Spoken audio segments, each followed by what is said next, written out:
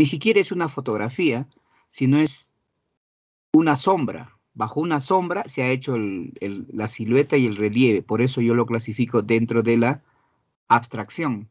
O sea, cuando hablamos nosotros de grado, si tú profundizas la teoría, ahora vamos a compartir la práctica. Gracias, ya me ha compartido la... Para poder compartir, ya, ahora vamos a ver. Sí, pues cuando hablamos de imágenes es un poco discutible, ¿no? Dado que tenemos pues información y de acuerdo a eso uno va a sustentar su, su postura. Ya, esta imagen, ¿verdad? ¿Cierto? Sí, profesor. Ajá. Mira, cuando uno profundiza la teoría, existen 11 grados de iconicidad. El primer grado es la imagen real, que es una fotografía. El último grado se llama abstracción, pero ese es el último grado de iconicidad. Existen grados de iconicidad como imágenes tridimensionales, otro grado de iconicidad, dibujos, pinturas. O sea, esa es la teoría. Entonces, esta imagen que estoy viendo está hecho bajo un fondo, como una silueta, nada más, como una siluetita, en negro. Entonces, si alguien le dice iconicidad, quiere decir que esto es igual a la realidad. Eso se llama iconicidad. Igual, porque esto que estamos viendo representa lo que se ha copiado de la realidad. Pero así no es, pues. No es negro, no es una partecita nada más, no es, eso está en un plano. Por eso yo lo clasifico en la abstracción. En realidad es un tipo de iconicidad y está dentro de la abstracción también. Si quisiéramos ser, si quisiéramos ser más exactos, a ver, vamos a ver, creo que tengo acá la idea. Más exactos, exactos. Mira acá, ve. Acá. Vamos a ver todos. ¿Ya? Pero esta teoría no está, antes está, mira, ve. Empezamos de acá. Número 11. Estos son grados de iconicidad, que no está en nuestro libro, pero nos ayuda a justamente a, a parametrar eso, ¿no? Esto ve. Acá si tú ves la primera imagen, 11 grados que le digo, esto, dice la imagen natural, una fotografía de una imagen natural.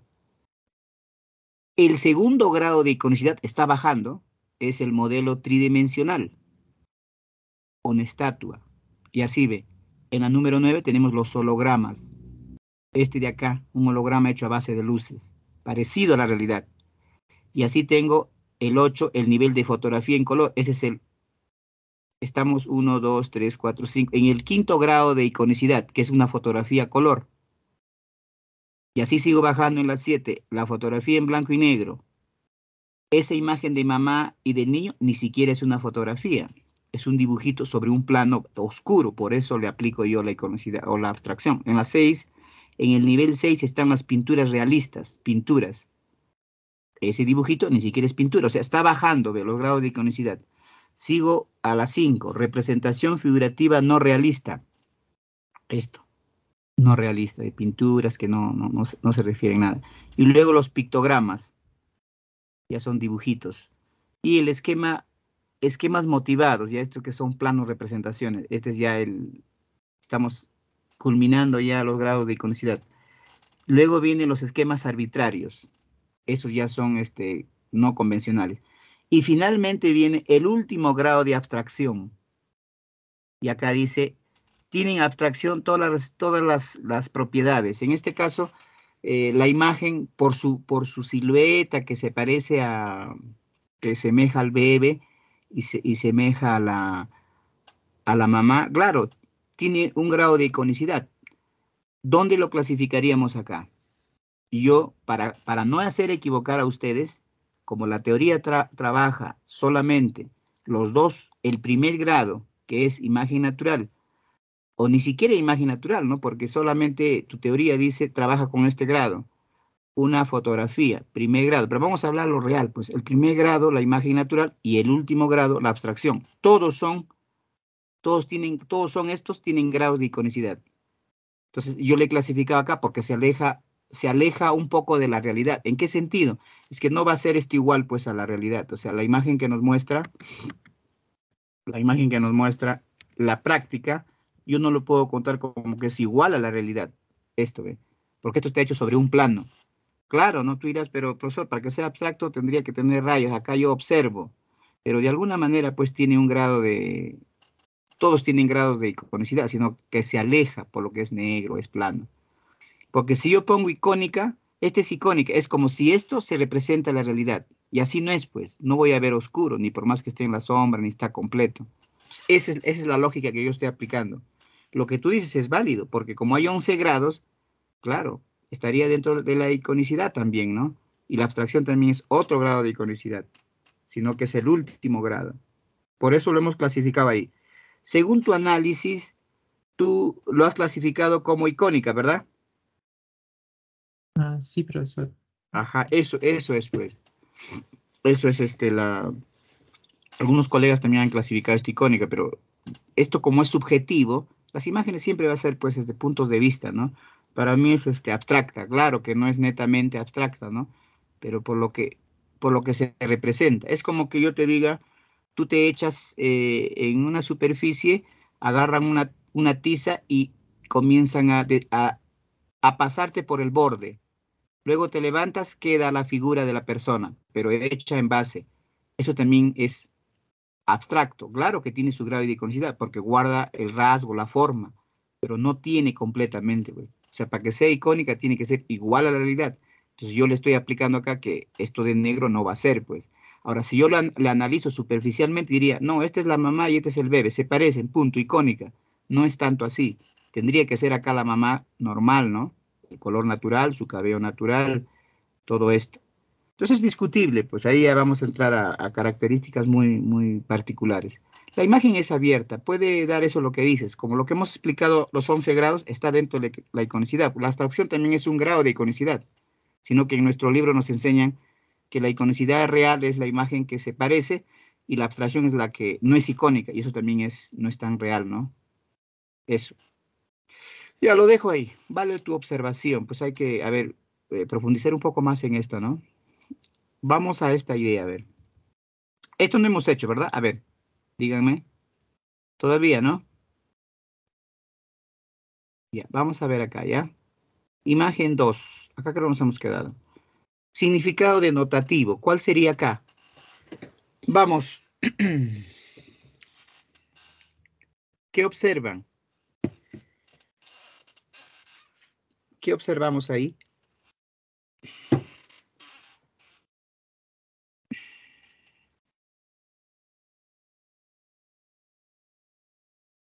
¿Cuál sería lo denotativo, chicos? Vamos. Mm, dos aves saliendo de una jaula. Ajá. Dos aves saliendo de una jaulita. Eso puede ser, pues es, es abierta la pregunta. ¿No? Dos aves, lo que observamos, no, dos aves ya, ponemos ahí entonces dos aves.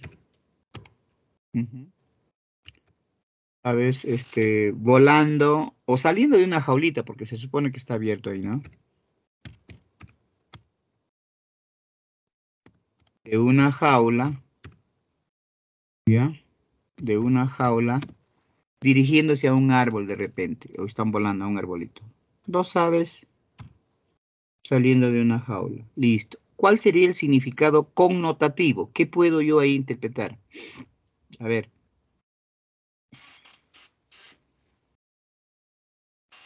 Connotativamente, ¿qué significa? Vamos, todos, esto de imágenes jóvenes genera mucha este, subjetividad. Entonces, cuando la pregunta es abierta, puede ser válida, ¿no? Claro que a veces nos acercamos, pero mm, cuando uno conoce la teoría, pues que todos son icónicas, entonces ahí es un poco que está en desacuerdo, ¿no? Algunos solamente manejan una teoría reducida y quieren aplicarle. No, es eso, dicen. En este caso son abiertas. Vamos a ver. A ver, ¿cuál sería acá este, lo connotativo? Como es abierto, vale todo. Todas las ideas que ustedes generen, que se acerquen a esa imagen. A ver. ¿Qué dicen? La libertad. Ya. Está relacionado con la libertad. ¿Qué más? ¿No? ¿Cuál sería lo connotativo? ¿La libertad y qué? A ver.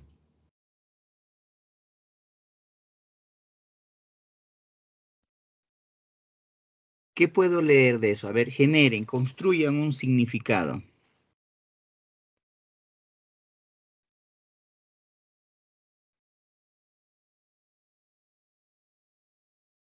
Ujú. Ya. ¿Alguien más? A ver. ¿Qué diría?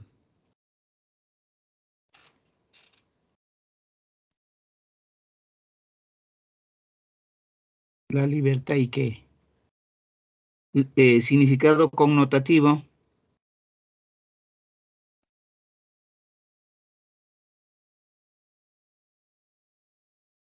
Ujú.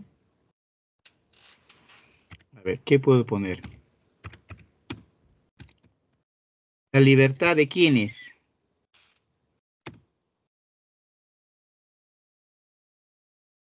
Ujú.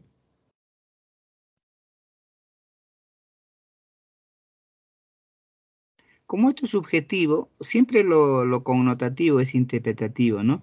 Yo puedo construir, la libertad es lo más valioso de la naturaleza, de la vida, qué sé yo, porque ellos están volando, ¿no? Eh, eh, justamente en la naturaleza. Puedo poner eso, es subjetivo, pues, ¿no?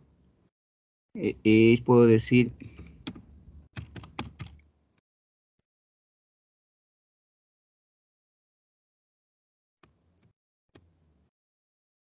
mm, en la vida o en la naturaleza. La libertad es lo más maravilloso en la naturaleza o en la vida, ¿no?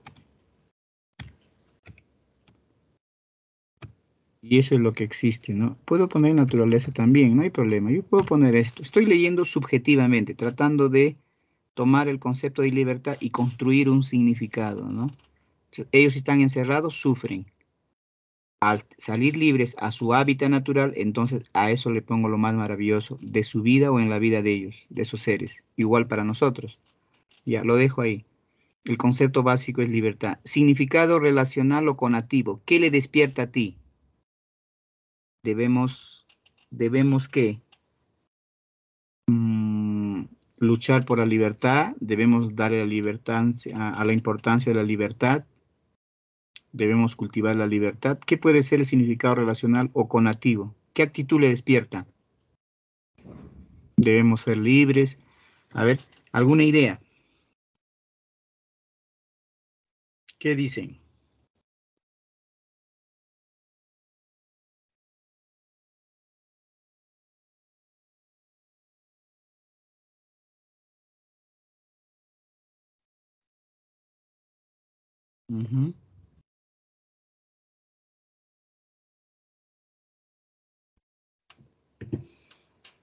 ¿Qué podemos poner ahí?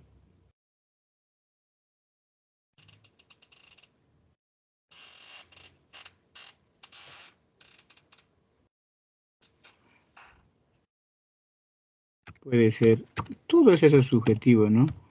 Una actitud que despierta, cultivemos simplemente darle importancia. A ver. Darle importancia a la libertad.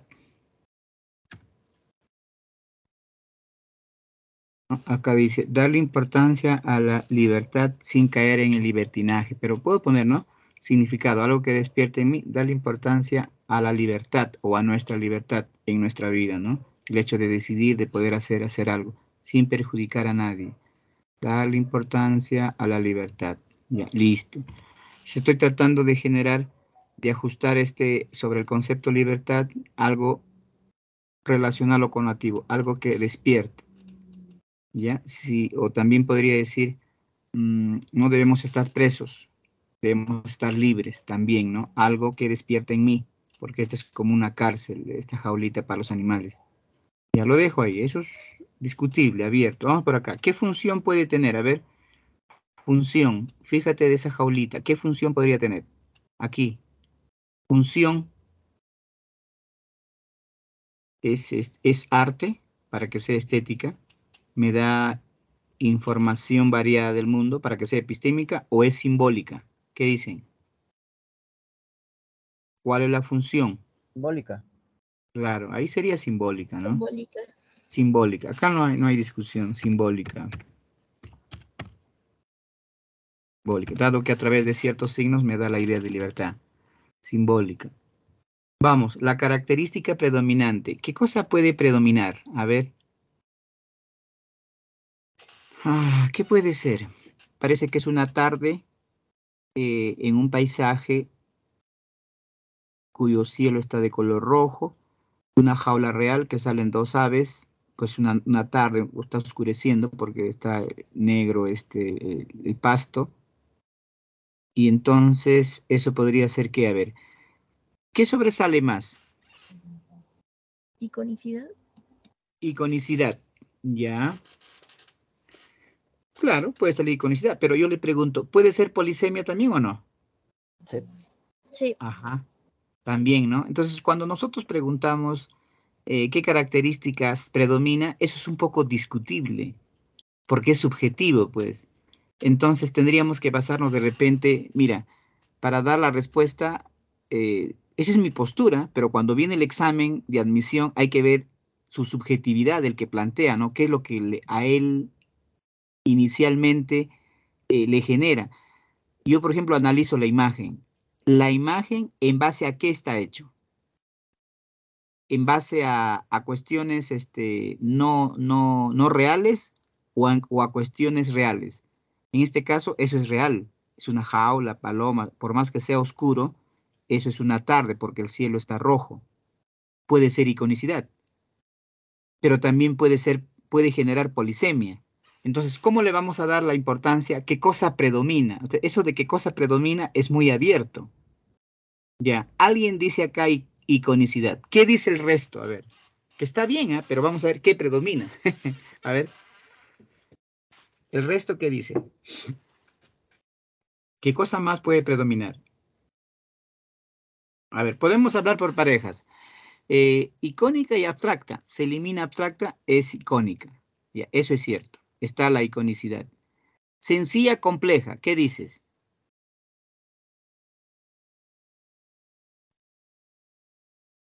¿Se entiende el mensaje o no se entiende? Se entiende. Se entiende, sencilla. Ya tengo icónica y ya tengo sencillez. Ahora, ¿originalidad o redundante? Originalidad. ¿Crees que nunca se ha visto una jaula de esa forma y cuando se redundancia sería, porque eso es, eso es normal, eso, eso se ve hasta cuando la gente vende sus animales, cuando abre los, las aves escapan. Sería redundancia. Ya, tengo redundancia, tengo sencillez, tengo este, iconicidad. Ahora, polisemia, monosemia. Polisemia. Polisemia. Ahora, cuando hablamos de polisemia, por ejemplo, y, hablamos de, complejidad, eso serían por el grado de dificultad de interpretar una imagen. Pero cuando hablamos ya de, en este caso, de, de iconicidad o abstracción, y ahí hablamos cómo está, cómo se ha elaborado la imagen, ¿no? Ya, en este caso hay cuatro características. De esas cuatro, ¿qué cosa predomina? A ver, la pregunta sigue siendo objetiva, subjetiva, pero vamos a ver, a ver, ¿qué predomina? ¿Qué cosa marcaríamos? En el examen me viene sencillez, me viene eh, iconicidad, me viene mm, polisemia y redundancia. ¿Qué marcaría?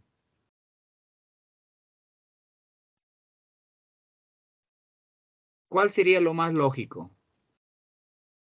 Polisemia. Polisemia, ¿ve? Y a ver, pero ¿qué dice el resto? Ese es tu, punto de vista. ¿Qué dice el resto? A ver.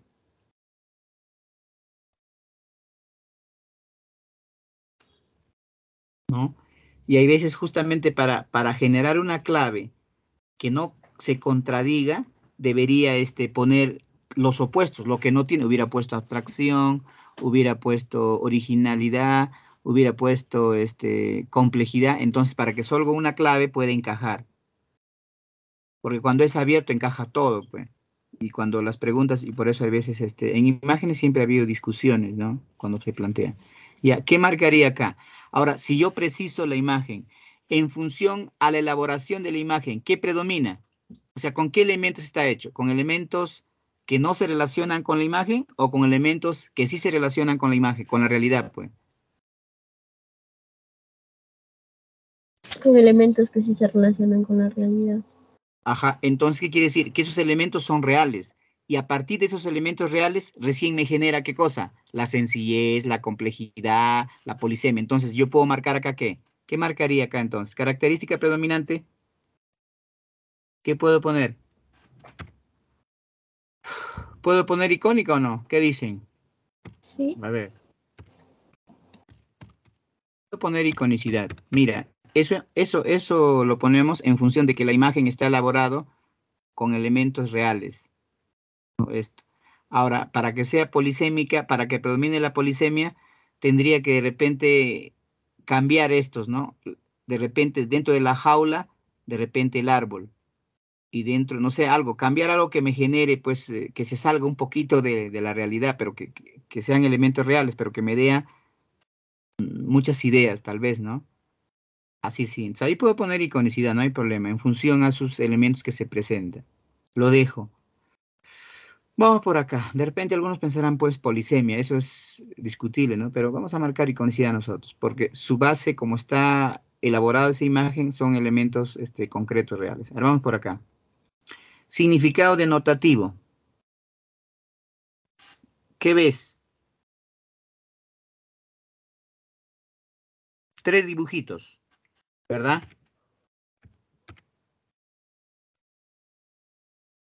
Tres dibujos de personajes.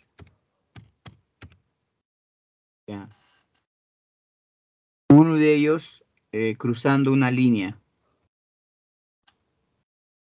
Tres dibujitos. ¿Ya? Tres dibujos de personajes. Tres dibujos de personajes. Uno de ellos cruzando pues la meta, porque se supone que es una carrera. Ya, listo. Yo lo pongo así. Significado denotativo, lo que observo, ¿no? Ahora, si quiero ser más puntual, diré pues, este, dos dibujitos en negro, dos siluetas de negro, un dibujito eh, adelante cruzando una línea, ya eso. Pero yo acá lo generalizo. Tres dibujitos de personajes. Punto. Ya, listo. Ahora, ¿cuál sería lo connotativo?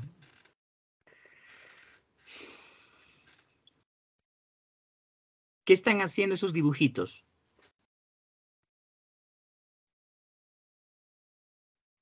Es una carrera. El que está de colores es el que ha pasado la meta. ¿Qué significará eso? A ver.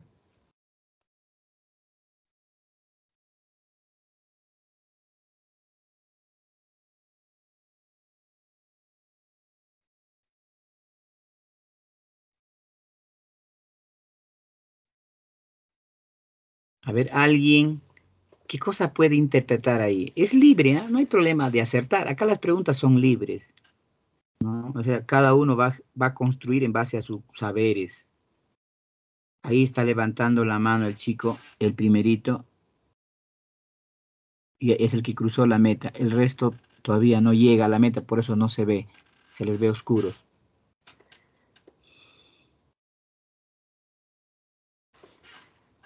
yo puedo construir. Todo esto es subjetivo, ¿eh? todo lo que estamos haciendo en imagen cuando se lee es subjetivo. Pues. El éxito, a ver, yo puedo poner el éxito. Vamos a poner ahí, a ver. El éxito. Ya.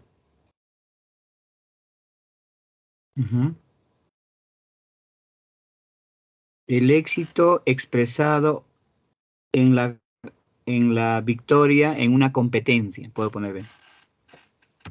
Estoy construyendo.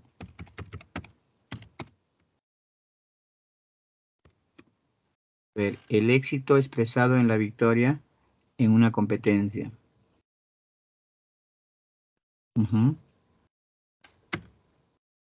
Puedo decir que es éxito porque él ha llegado a la meta. El éxito expresado en la victoria, o sea, que él gana, ¿ya? En una competencia. El éxito expresado en la victoria de una competencia, ¿no? De una competencia. Cuando uno gana algo, pues eso, es de alguna manera su éxito por ese momento. El éxito expresado en la victoria de una competencia. Puedo considerar. A ver. Una idea, pues ustedes pueden generar otras ideas parecidas o similares, ¿no? Con, con el hecho de la victoria. El éxito expresado en la victoria de una competencia. Listo. De repente puedo ser más, más, este, más interpretativo, ¿no? El éxito en una competencia. Punto. ¿Por qué éxito? Porque se supone que él llega a la meta. Esa es una carrera. Esta línea marrón es como la cinta que cuando pasa uno gana. El éxito expresado en la victoria de una competencia. Punto. Lo dejo ahí. ahí estoy tratando de interpretar esto, esa imagen. Pueden tener ustedes varias ideas en relación a eso, pues. Se ha abierto la pregunta. Significado conativo. ¿Qué le genera a usted?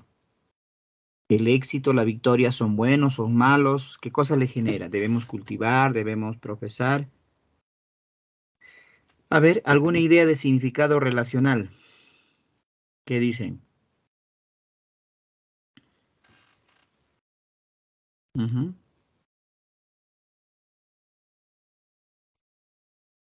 ¿Alguna idea?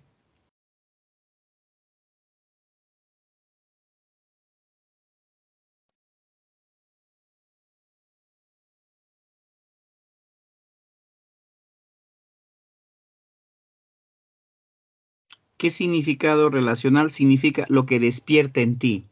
Te pregunto, ¿es bueno conseguir el éxito? ¿Es bueno tener éxito? ¿Qué dices?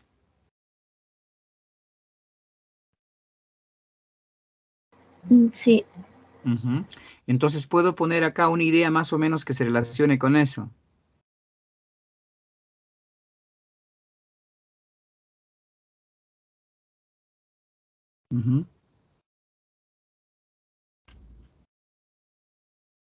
Entonces yo pongo algo acá, este, alguna, alguna acción o al- algo que se despierta en mí. Yo digo, debemos,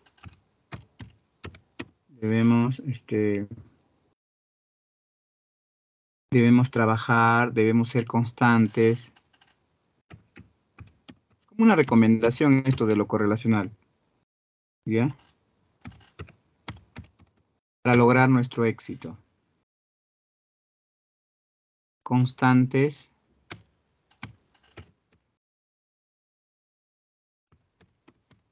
Para lograr nuestro éxito. Debemos ser constantes. O sea, siempre el significado relacional es como una recomendación para lograr el éxito. Vamos a poner acá. Debemos ser constantes, debemos sacrificarnos, debemos esforzarnos. Obviamente, ahí hay una competencia. La vida en realidad es una competencia. Debemos ser constantes para lograr el éxito. O para ser hombres exitosos. Yo voy a poner para lograr el éxito.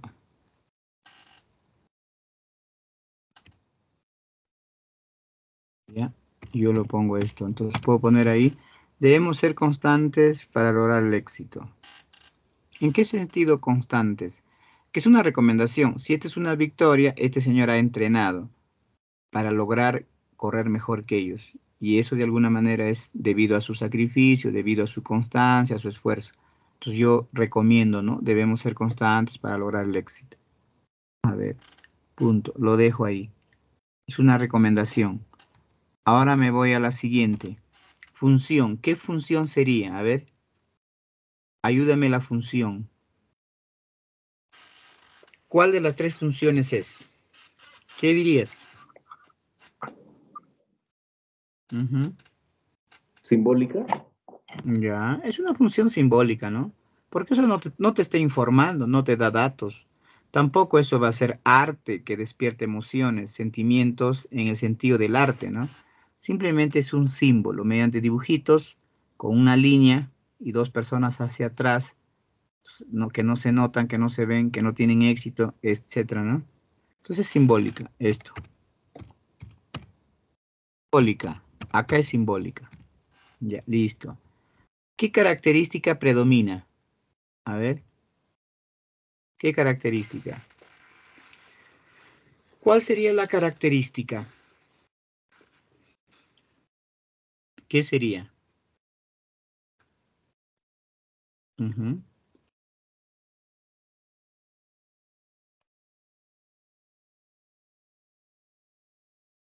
Esos son dibujitos, ¿no?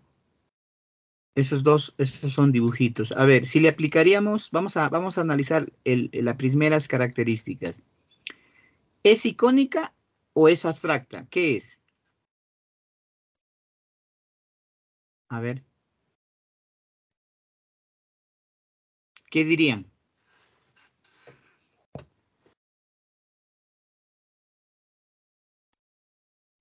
Tal vez, tal vez por la forma, ¿no?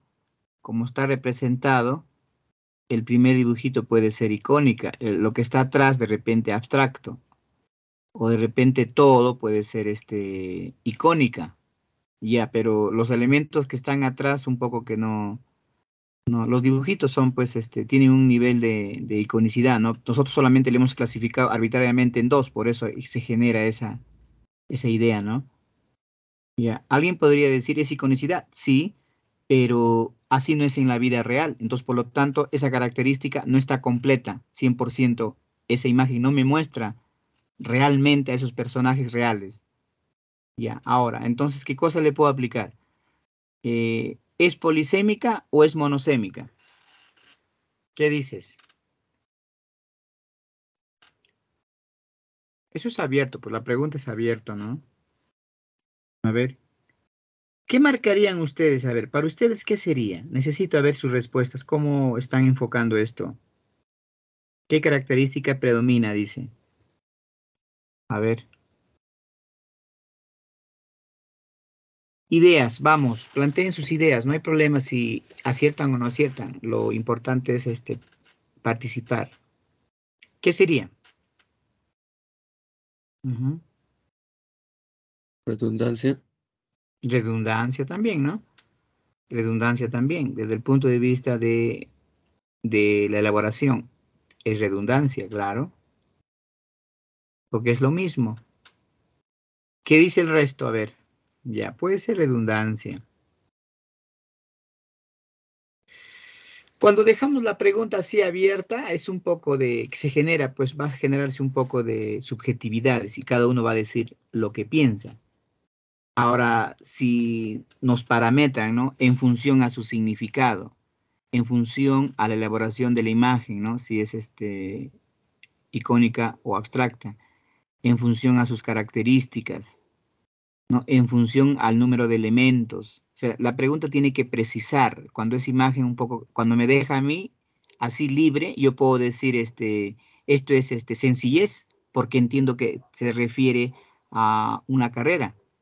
Alguien puede decir, este, eso puede ser polisemia, profesor, porque no solamente puede significar la competencia la victoria de ese personaje de azulito, y los de atrás que no han logrado pasar también tienen un significado.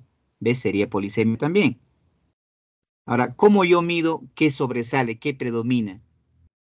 ¿No? Eso, eso, eso está, eh, depende de qué, de mi saber previo, de qué. Ahí se queda un vacío. Entonces, por eso yo podría decir, ¿no? Eh, característica predominante en función al significado. Ahí sí. ¿No? O característica predominante en función a, las, a la característica o a los rasgos del objeto creado, de la representación creada. Ahí sí, preciso. Ya, tú dices redundancia. ¿Qué dice el resto? A ver, ¿alguien más? Vamos. ¿Qué dice el resto? Polisemia. ¿Qué dice? Polisemia. Y alguien dice polisemia. Ya. ¿Quién más? A ver, hasta ahí hay dos respuestas. Profesor, sencillez. Sencillez. Alguien dice sencillez. Ya, uno más para tener cuatro, cuatro, justamente los cuatro que pueden ser este. Ajá, uno más. ¿Qué sería? ¿Cómo? ¿Qué dice?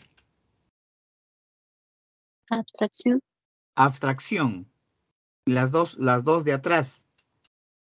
¿No? Porque este ya se parece a una persona, por más que es dibujito, ¿no? Tiene un grado de, iconicidad. Ya. Ahora, de todas ellas, ¿cuál sería lo más lógico? Vamos a dejar de lado un poco la, la iconicidad por el hecho de que las figuritas están atrás en oscuro, como si fueran siluetas nada más. Ya, eso se va. No vamos a marcar iconicidad. Tal vez si los tres hubieran estado así como el primer personaje, sí. Ya, ahora, este, sencillez. Sí, se puede comprender, pero estas personas de negro que no han pasado la línea me generan algo. ¿No? Y ahora si me dice este redundancia, eso se repite, eso es una copia real, sí, pero en una vida real no voy a poder ver personas, este está claro y los de atrás están negros, es un poquito que se escapa. Pero lo que sí puedo decir, no sé, es lo que yo pienso, ustedes como estudiantes, a ver, validen también. Yo pienso que debe ser polisemia eso. Sería lo más, lo más, este, lo, más, lo, más, lo más que se acerca, porque ahí no habría ninguna contradicción. Si yo digo iconicidad, los de negritos quebrarían un poco eso. Si yo digo sencillez, es fácil de entender, pero esos, de, esos que están atrás y que tienen puntos, esos personajes de negro, un poco que me genera que otras ideas que no, no lo voy a poder hacer con la sencillez, ¿no? Porque tienen otros significados. Entonces creo que más, más se enfoca lo que es este. Ahora, si alguien me dice redundancia, sí, pues hemos visto muchas competencias, pero los personajes de atrás no necesariamente son así. O sea, negrito específicamente, ¿no? O alguien ha visto una competencia así y él, los de atrás son pues siluetas oscuras.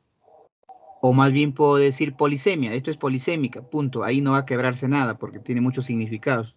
Cada uno de los personajes, la línea, etcétera. Ya, ¿qué marcaríamos acá? ¿Qué marco? ¿Qué escribiría? Esa, esa, ajá, esta característica no se va a contradecir con nada. ¿No? Pero esto, polisemia. Esto no, no se va. Obviamente las imágenes me generan pues un poco de, de ideas distintas, ¿no? Hemos visto ahorita, por ejemplo, cuatro estudiantes dan sus cuatro respuestas. Entonces, eso, ahora, si alguien analiza como yo estoy haciendo, eso tampoco es este, muy lógico. Yo estoy tratando de más o menos darte una idea, ¿no? Cuando hablamos de imagen sería pues lo más concreto, lo más, este, lo más evidente, ¿no? Si yo quiero que sea iconicidad, acá tendría que ser una foto o una imagen natural, o sea, real. Ahí sería icónica 100%, ¿no? Si yo quiero que sea abstracción, es verdad, tendría que poner acá lo que es abstracción 100%, puro líneas arbitrarias, eso sería. Si quiero complejidad, una imagen que estaría puro, este, con muchos elementos que no, no se entienden, no se comprende. Eh, a eso se refiere. Entonces, ahí la imagen tiene que ser exacta para poder yo descifrar, pues si no voy a generar muchas ideas. Bueno, como es abierto acá no hay problema la pregunta. Ahí la polisemia puede encajar ahí. Ya, vamos por acá, a ver. ¿Qué observamos acá? Observa ahí. ¿Qué ves? A ver. Una mujer subiendo por una escalera, jalando con una soga o un, una, una piedra, una roca. ¿Ya? Y lo ha subido, está logrando subirlo, pero está haciendo mucho esfuerzo, ¿ya? Vamos por acá. ¿Qué pondría? Fíjate ahí. ¿Qué cosa me pide? Eh, significado denotativo. ¿Qué sería?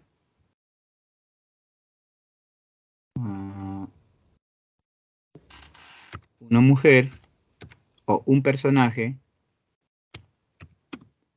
voy a ser más específico. Una mujer tirando de una piedra, ¿no? Una mujer tratando, voy a poner,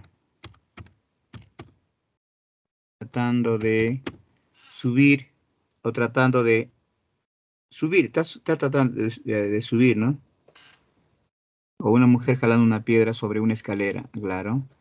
Una mujer tratando de subir una piedra o una roca circular.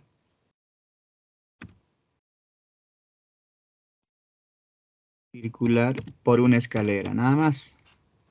Tratando de subir, eso es lo que está haciendo. Una mujer tratando de subir una roca circular por una escalera.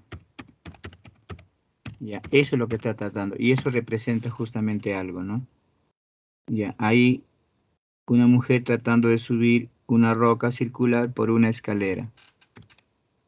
Listo. Más o menos eso es lo que estoy, estoy describiendo aquí.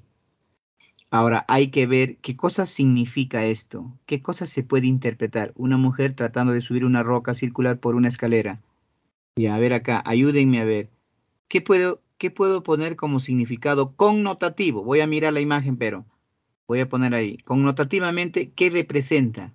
A ver, me está pidiendo lo connotativo. ¿Qué interpreto? A ver, todos. El esfuerzo. El esfuerzo. Ya, ¿qué más? Esa es una idea buena. ¿Quién más?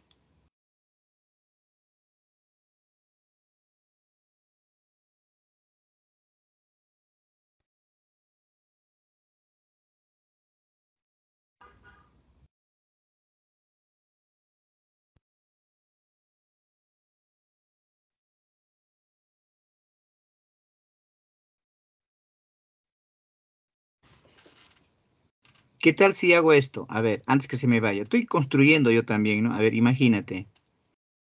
Vamos a construir algo, ¿ah? Ah, para la mujer, ¿ya? Para la mujer, digo, para la mujer. Acá me comí la, para la mujer. Para la mujer. Es más, estoy construyendo, no digo que puede ser esto, pero más o menos se acerca, ¿no? Ustedes también pueden construir. Para la mujer es más difícil o complejo, ¿ya? Lograr sus metas. ¿De dónde saco eso yo? Subjetivo, ¿no? Es una mujer que está yendo una escalera, subir, pues refleja eh, cumplir lo que ella quiere. Para, una, para la mujer es más complejo lograr sus metas. A ver, está cargando ahí. Lograr sus metas, porque ella está jalando, claro que es el esfuerzo, pero ¿por qué? ¿Por qué, por qué está subiendo por la escalera? No, ¿Por qué no por un lado llano, plano? Sus metas, sus metas. Yo digo esto. Vamos a ver. Yo digo acá, para la mujer es más complejo lograr sus metas. ¿Por qué digo metas? Bueno, esta es una mujer. El hecho de subir una escalera es pues este, el hecho de que subir una escalera representa lograr algo, querer algo, que está más allá de mi alcance. Esa es una meta, es un objetivo. ¿Y por qué digo que es difícil? Porque ella tiene que, no está subiendo libre, está subiendo con algo que está jalando, pero que no le parece fácil, ¿no? Alguien dijo por ahí, también vale esa palabra que dijo, ¿no? Esfuerzo. Para lograr sus metas, una mujer para lograr sus metas necesita mucho esfuerzo también. Yo, yo digo, la mujer para lograr sus objetivos, ¿no? Necesita mucho esfuerzo, también puede ser. O puedo decir, la mujer, para la mujer, para lograr sus metas, es más complejo, es más difícil. Tremenda roca para una mujer. Un varón tal vez puede hacerlo, ¿no? La mujer también lo va a hacer, pero va a sacrificarse un poco más. Eso estoy tratando de referencia. ¿Tiene sentido o no? A ver, para la mujer es más complejo lograr sus metas. Las metas es la escalera de subir, de alcanzar algo. Lo complejo es lo que está jalando. Si no fuera importante, no jalaría, se iría de frente por la escalera. ¿Ya? Eso. Puedo tener muchas ideas, pero más o menos se acerca a eso, ¿no? Y en la vida, a ver, vamos a ver, vamos a aplicar en la vida. ¿Es verdad? Para la mujer es más complejo lograr sus metas en la vida. A ver, ¿quién me dice? ¿O es igual que el varón? ¿Qué dicen?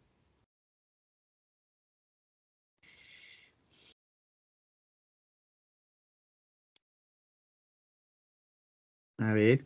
Hay más dificultad para la mujer ya que es- la mayoría son discriminadas. Ah, también, ¿no? Y además, señorita, es más complejo porque la que lleva al bebé, la que da luz, es justamente la mujer. Entonces, ahí hay un poco de dificultad, ¿no? Cuando están trabajando los dos, se embaraza, la mujer este, tiene ese inconveniente. Entonces, ahí, a eso también puede enfocar eso, ¿no? Bueno, aplicándolo ya en la vida real. Ya, significado conativo. ¿Qué cosa puede despertar de mí? Significado conativo o, o relacional. ¿Qué actitud despierta? Sabiendo que es el esfuerzo. Debemos dejar de jalar las rocas. Debemos esforzarnos para lograr nuestro objetivo.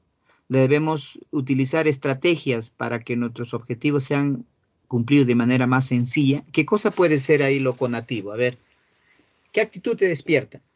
De repente cortar la línea para, para que se caiga la roca y subo más fácil yo.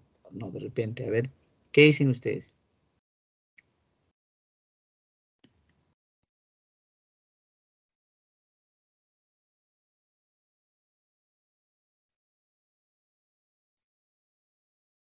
Alguna actitud que despierte, sabiendo que eso se trata sobre que las mujeres es más difícil cumplir su objetivo, cumplir su objetivo.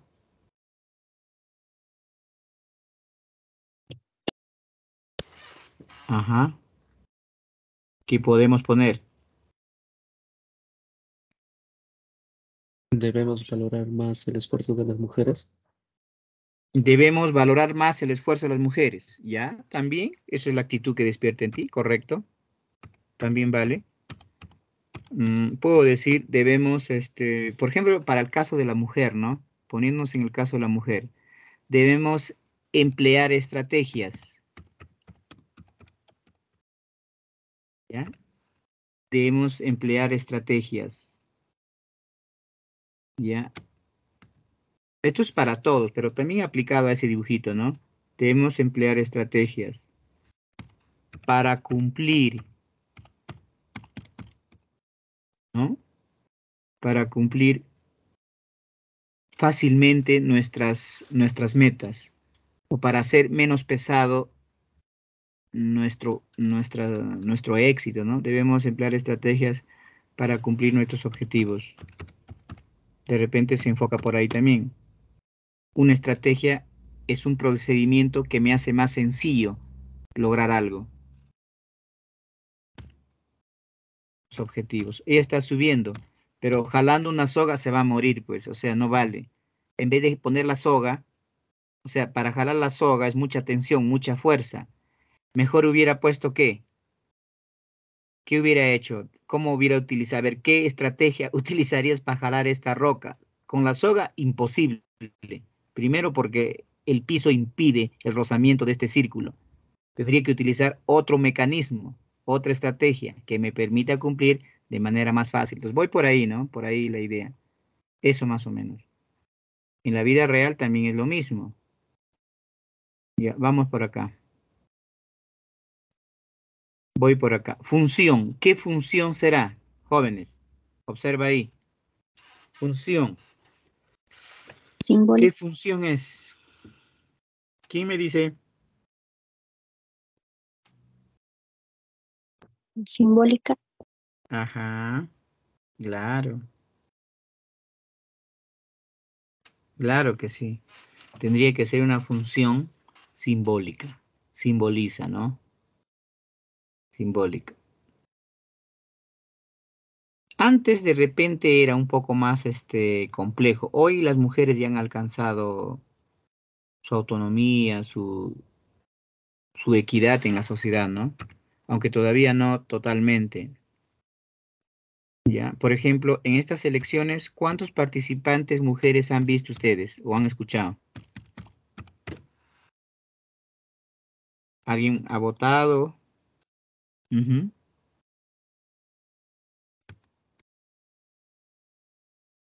Simbólica. Característica predominante. ¿Qué característica puede ser? A ver. Vamos, pensemos un rato. ¿Qué característica?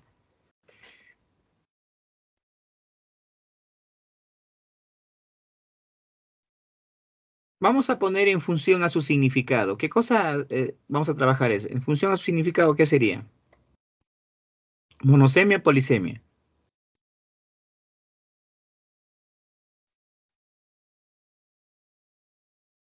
¿Qué característica pondrías ahí? Polisemia. Polisemia. Ponemos, ¿no? Porque compleja no es, se entiende. ¿no? Es sencilla, pero bueno, vamos a poner en función a su significado, lo que nos quiere transmitir la imagen, ¿no? Se nos genera varias ideas. Característica predominante en función a su significado, la polisemia. Ya, es una pregunta abierta. Vamos, salgo de esto. Y me ponen un texto relacionado eh, con, con el arte, contextualización.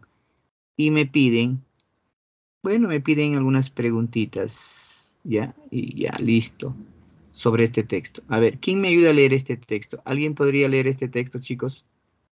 ¿Algún joven? ¿Alguna señorita? Vamos a agrandar un poco más. Ya, el texto de impresionismo y expresionismo. Vamos, ¿quién lo lee?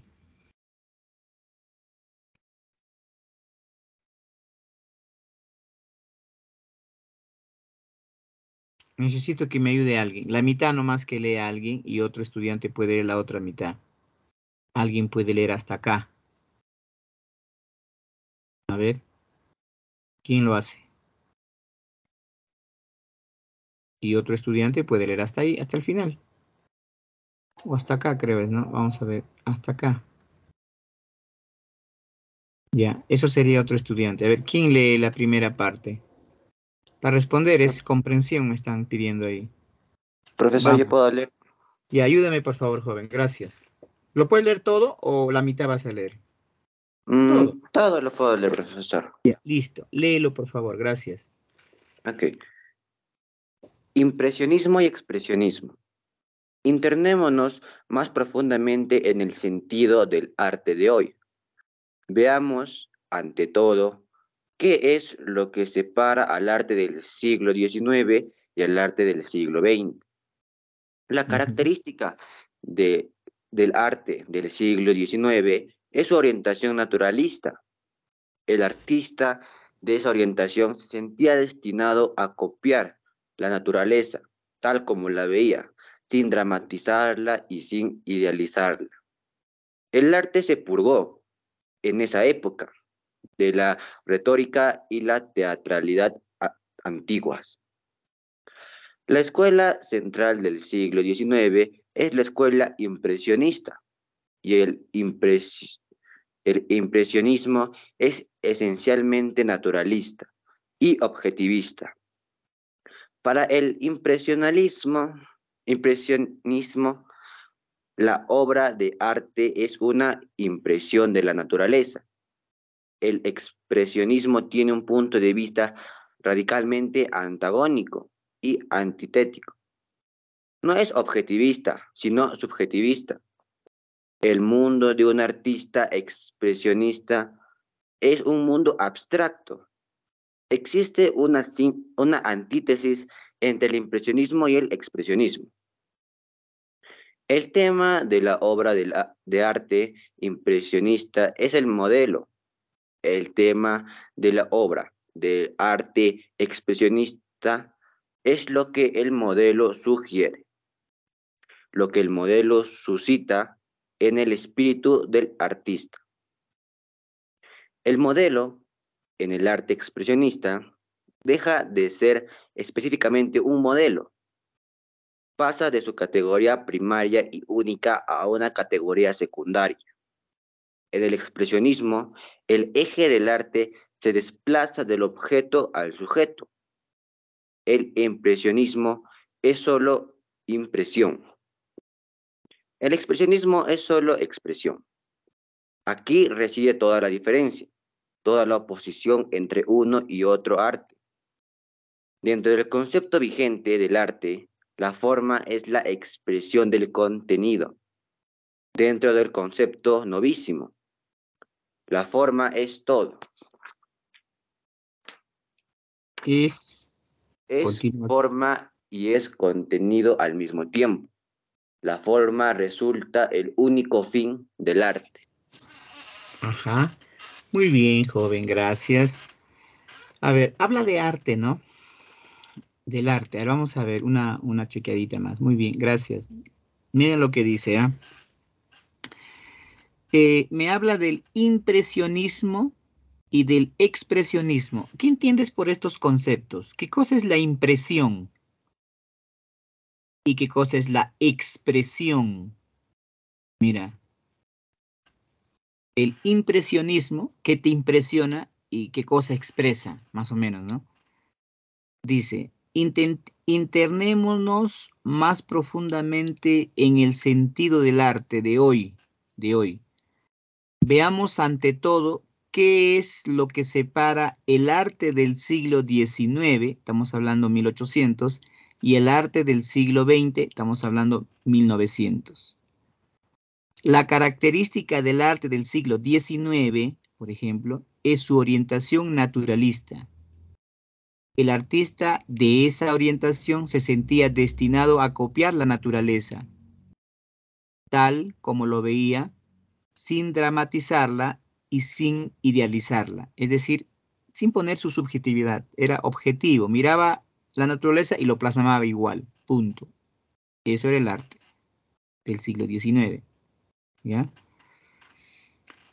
Tal como lo veía, dice, el, arte se, el arte se purgó en esa época de la retórica y la teatralidad antigua. Eso se refiere que el arte, pues, este, no presentaba subjetividades, por eso dice se purgó. Purgó es como limpiarse de la retórica, de las ideas, de las teatralidades, imaginaciones. La escuela central del siglo XIX es la escuela impresionista. ¿ya? Acá dice, la escuela central del siglo XIX es la impresionista. Impresionista. Y el impresionismo es esencialmente naturalista. Listo. Acá me viene entonces que el impresionismo es naturalista. Eso es lo que está hablando. Pues estamos hablando de esta escuela, obviamente que es natural, ya es naturalista. Eso es lo que dice también en la parte que hemos subrayado arriba. Y naturalista y objetivista. Claro, objetivo porque plasma lo que ve, sin interceder sus ideas, su pensamiento, su teatralidad, etcétera, su retórica, etcétera. Ahora viene lo contrario. Ya, eso es hasta ahí el impresionismo, dice, ¿no? ¿Qué más viene? Ahora, todavía continúa. Para el impresionismo, dice, para el impresionismo, la obra de arte es una impresión de la naturaleza, una impresión. Es decir, como que si usted imprime una hoja en su impresora y sale igualito, igualito ellos copiaban la naturaleza, más o menos eso. Es una impresión de la naturaleza. Ya, hasta ahí me habla de el impresionismo, que era copia de la naturaleza. Ahora viene por acá. El expresionismo, acá ya cambia, ya es, es la otra, ¿no? El expresionismo tiene un punto de vista radicalmente antagónico, quiere decir contrario, antitético, diferente a, a, su, a lo que va a plasmar. No es objetivista, sino subjetivista. Acá me dice que es subjetivista. ¿Ya? Entonces, el expresionismo, claro, el hecho de expresar, expresarse ya depende de cada uno, ¿no? Estado emocional, cómo se siente, y de acuerdo a eso pinta, refleja. El mundo del artista expresionista es un mundo abstracto. Claro, si es subjetivo, es abstracto. ¿no? Ya no es real. Y luego dice, existe una antítesis, quiere decir una lucha de ideas, una contradicción, entre el impresionismo y el expresionismo. Claro, pues porque uno es objetivo, el otro es subjetivo. Vamos, ¿qué dicen? El tema de la obra de arte impresionista, el tema de la obra de arte impresionista, estamos hablando del arte impresionista, lo que se copia de la naturaleza, dice, el tema de la obra de arte, a ver, vamos a ver qué dice acá. Mm, existe una antítesis entre el impresionismo y el expresionismo. El tema de la obra de arte impresionista es el modelo. Claro. La impresión, ¿qué significa? Que uno copia la realidad tal como es. Ese es un modelo real. Mientras que el tema de la obra del arte expresionista, ex que es fuera, es lo que el modelo le sugiere. Claro, es subjetivo, lo que uno piensa. ¿no? Lo que el modelo le sugiere, lo que el modelo suscita, lo que el modelo causa en el espíritu del artista. El modelo en el arte impresionista o expresionista deja de ser específicamente un modelo, ¿ya? Pasa de su categoría primaria y única a una categoría secundaria. En el expresionismo, el eje del arte se desplaza del objeto al sujeto. Claro, porque es expresión. No, le interesa a él la naturaleza, no le, no le interesa el objeto real, sino lo que el sujeto siente, justamente porque es subjetivo. El impresionismo es solo impresión, ¿ya? El expresionismo es solo expresión, dice. Es solo expresión. Reside toda la diferencia y toda la oposición entre uno y otro. Dentro de un concepto vigente de arte, la forma es la expresión del contenido. Dentro del concepto nuevo, la forma es todo, ¿ya? La forma es todo. Es forma y es contenido al mismo tiempo. La forma resulta el único fin del arte. Bueno, ahora, dentro del concepto novísimo, o sea, nuevo, de la nueva, el nuevo arte, ¿no? Actual. Ya, listo. Salgo de ahí, esa es comprensión. Vamos a ver por acá. Se afirma de la, de la lectura. ¿Qué cosa puedo afirmar de la lectura? A ver. Ahí me dice, se afirma de la lectura impresionismo y expresionismo tienen puntos de vista coincidentes o el texto, el texto me ha dicho son opuestos? Uno es objetivo y el otro es subjetivo. ¿Verdadero o falso la A? Falso. Falso. B. ¿El artista impresionista idealiza la naturaleza? ¿El impresionista o, o el expresionista, el que expresa, el que es subjetivo? Esto también es falso. C. ¿El artista expresionista es objetivista? No, pues. El que es objetivista es el impresión, el que imprime, como una impresora, tal como ve. Ahí sería falso también eso. ¿El arte del siglo XIX es subjetivista? Dice, ¿el arte del siglo XIX es subjetivista? No, es objetivo. Ahí está mal también. El arte del siglo XIX se caracteriza por su orientación naturalista, eso sí. Clave, esta. esto, esto es literal, ¿ah? es una pregunta literal. No pasa nada ahí. Vamos por acá. Según el texto es verdadero. ¿Qué cosa es verdadero? En el expresionismo, el modelo sugiere al espíritu del artista, claro. Acá sería esto, el único. ¿ah? A ver, en el, en el expresionismo, el artista también cultiva el teatro. No, no se, se limita del teatro y de la retórica, dice. C. El arte del siglo XIX es demasiado subjetivo. No, es objetivo. La naturaleza no fluye en el artista expresionista. Sí fluye. ¿Por qué fluye? Porque él, de alguna manera, pues su, su subjetividad le ayuda a imaginar, ¿no? Acá sería falso. ¿No existe oposición? Sí existe oposición. Clave, esta. Sigue siendo literal. El expresionismo es el modelo, sugiere el espíritu del artista, claro. Primero es el expresionismo, lo que hace que piense, ¿no? Basado justamente en, la impresión, en la realidad que los otros artistas plasman. Y la última sería ahí, son expresiones correctas. Ahora vamos a ver. El arte del siglo XIX tiene orientación naturalista, verdadero. B. El artista impresionista copia la naturaleza, verdadero. C. ¿Es muy relativo el antagonismo entre impresionismo y impresionismo? No, es opuesto. Objetivismo y subjetivismo son propios del impresionismo e impresionismo. Efectivamente, no, son distintos. El artista expresionista dramatiza, idealiza, sí, eso sí. Sería esto. A, verdadero. B, todo es literal, acá no hay nada de interpretación. B y E. Esto dice el texto. ¿Qué clave sería? ¿Hay o no hay? Mm, clave. A B tendría que ser, ¿no? Esto. Esta, este número. 5. Ya, esto. A, B, E. Clave ahí.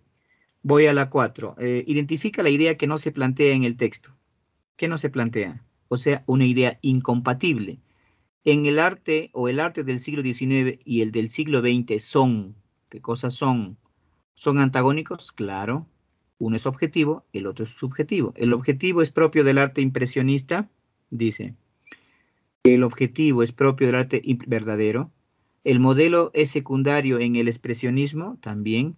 D. Expresionismo e impresionismo. ¿Serán siempre escuelas artísticas novísimas?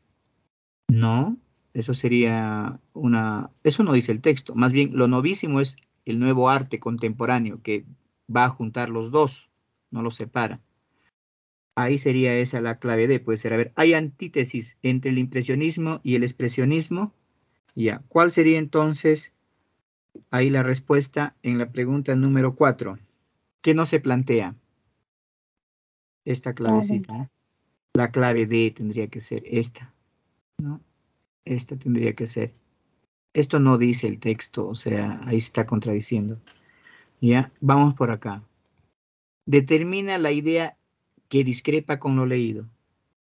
O sea, ¿qué idea el texto no lo dice, no lo señala? A ver, impresionismo y expresionismo tienen un mundo artístico pleno de avenencia. Avenencia es acuerdo, pacto. Avenencia es acuerdo, pacto. No, pues si son opuestos, diametralmente opuestos. Uno es objetivo, el impresionismo es objetivo porque imprime la realidad, copia la naturaleza y el expresionismo da cabida a la teatralidad, a la subjetividad. acá puede ser la clave A. A ver, sigo. En el expresionismo, la naturaleza prima en el, objeto, dice. En el expresionismo, claro, claro, el objeto, le da valor al objeto. En el mundo de un artista expresionista es un mundo abstracto expresionista, expresionista dice. El mundo de un artista impresionista es objetivista. En el impresionismo, el modelo es lo único que viene. ¿Cuál es la idea ahí que va a discrepar? O sea, discrepar, bueno, es que va a contradecir a la idea inicial. Ahí sería la clave esto, ¿no? El impresionismo y el expresionismo tienen un mundo artístico pleno de avenencia. Desavenencia será, desavenencia y desacuerdo, pero esto dice de avenencia. Esto está discrepando. El resto pueden ser algunos falsos, pero no, no discrepan. Discrepar es estar de acuerdo con lo que se ha planteado. Acá me está diciendo que ambas escuelas son diferentes, son antagónicas, pero acá me dice que tienen avenencia, o sea, tienen ciertas ah, cualidades exactas, que tienen armonía, y eso sería falso. Ya salgo de eso, ¿ah? esto es eh, lectura. Vamos acá, te toca a ti, a ver, ahora sí, vamos, tú vas a entrar a esto. Vamos a validar. ¿Qué sale en la número uno? Esto sí, de, de imágenes, todas las imágenes. A ver. ¿Qué sale en la uno? Chico.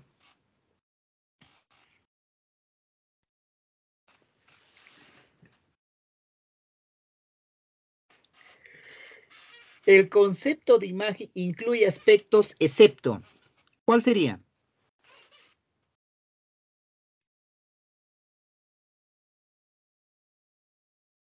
O sea, me está hablando del concepto. Tú sabes que la imagen proviene del término latín imago. ¿Qué cosa dice? Figura, sombra o representación de algo percibido por los sentidos. ¿Qué sería? Se está refiriendo a ese concepto. ¿Cuál no encaja ahí?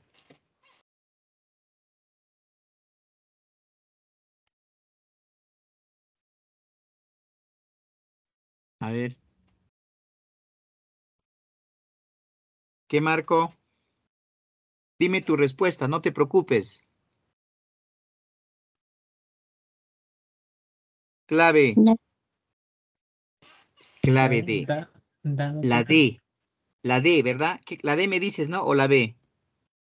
Ah, dado. Dado debe ser esta. ¿Ya? O sea, me está hablando del concepto, obviamente etimológico, ¿no? Era una figura, era una sombra, es una representación una semejanza o apariencia, pero esto no. Ahora sí, ya pues el concepto actu- actual, ya que cosa es una imagen. Las imágenes son representaciones de algo, fruto de la observación o fruto de la creatividad. Ese es un concepto más nuevo, pero dentro de su concepto etimológico no habla de esto. Siete. ¿Qué marco? Vamos a Las las siete. ¿Qué sale en las siete? Sí. La C. C. La C. Acá no hay problema. Clave C. Alternativa C. Ajá. Vamos acá. 8. ¿Qué sale en la 8? Redundancia, la B. La- La B, ¿no? Esto es redundancia. B. 9. Vamos a la 9.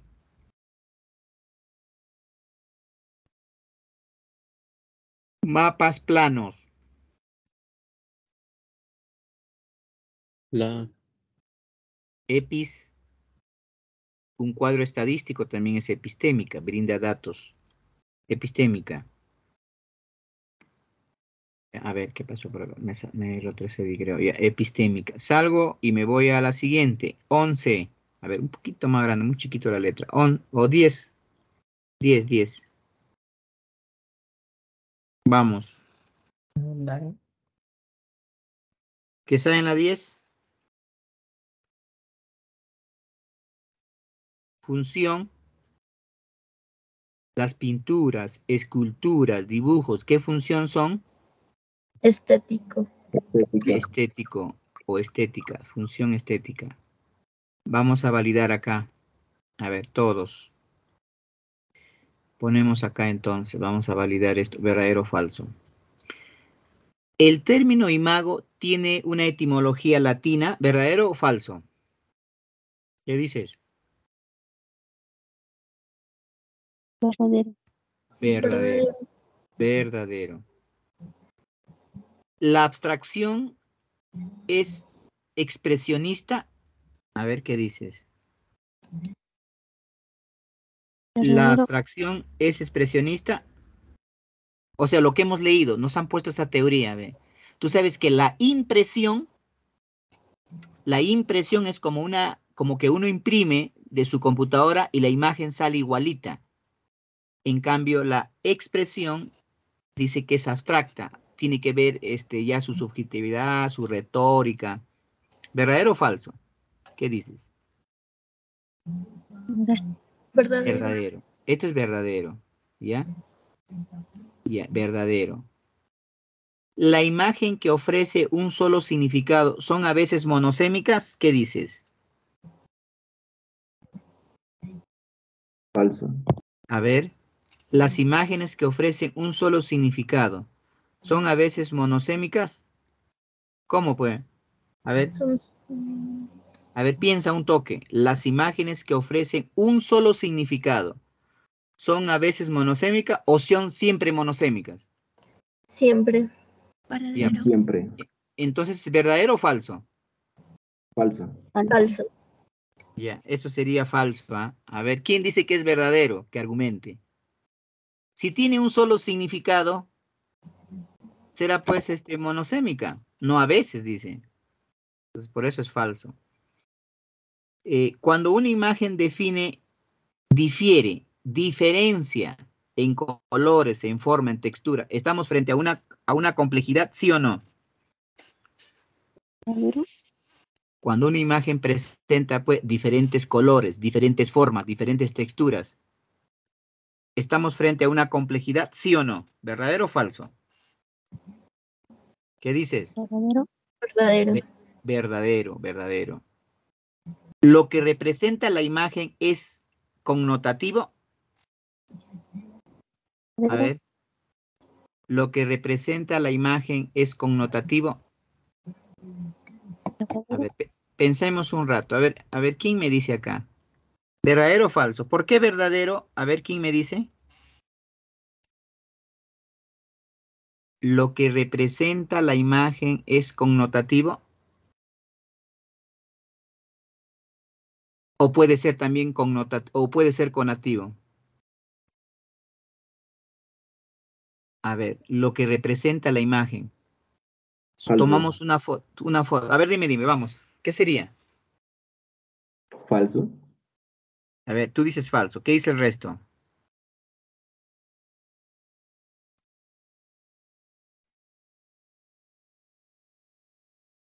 Pero no puede ser verdadero. A ver qué dicen. A ver. Tal vez ahí hay un poco de ambigüedad, ¿no? Verdadero. Porque, ajá, eso sería verdadero. Porque lo que se interpreta, pues me está diciendo, por eso algunos lo ven. Esto sería verdadero, ¿ah? lo que representa. Alguien dirá, profesor, pero está representando lo que estoy viendo igualito. Eso es iconicidad, diría alguien. Y eso ya no puede ser este denotativo. Pero más o menos esta palabra representa es lo que se interpreta de la imagen. Es connotativo, ahí sí ve. Es más exacto. Porque yo puedo, yo puedo tomarte esto, por ejemplo, ¿no? O sea, bueno, el concepto se relaciona, pues se entiende. Lo que representa la imagen es connotativo, claro. Lo que va a representar, lo que vamos a interpretar, a eso se está refiriendo. Ya, entonces algo de eso. Voy por acá. A ver, vamos a ver, ¿qué es esto? Mm, Vamos a esta imagen. Observa acá. Identifica la característica de esta imagen. La vamos a agrandar esta imagen. Una pintura. Y ahí ve. En la número 12. ¿Qué es lo que sobresale? Abstracción. ¿Qué dice el resto? Vamos. Abstracción. Abstracción, ¿no? O sea, el elemento como está construido es abstracto con líneas. Ya, esto sería pues lo que le está dando base. A partir de esa abstracción, yo voy a poder recién sacar significados, ¿no? etcétera. Pero es el elemento. Ahí sería abstracto, ¿ah? abstracción. Abstracto. Sería colores, sería bueno. Es una pintura de la Guernica, creo, Guernica. Vamos por acá, a ver. ¿Qué función, cuál es la función de esta imagen? Me está pidiendo la función de esta imagen. Esta función de esta imagen, que es una imagen abstracta, que es una pintura. ¿Qué función sería? Estética. Ajá. ¿Cuál sería la función? La Es una pintura estética. clave A. Sería estética, porque es una pintura, la Guernica. Guernica se llama esa pintura. Vamos por acá. Ahora sí. Pregunta 14. ¿Qué característica predomina en la imagen propuesta? A ver, vamos a pensar. Necesito siquiera cuatro participantes. Ujú.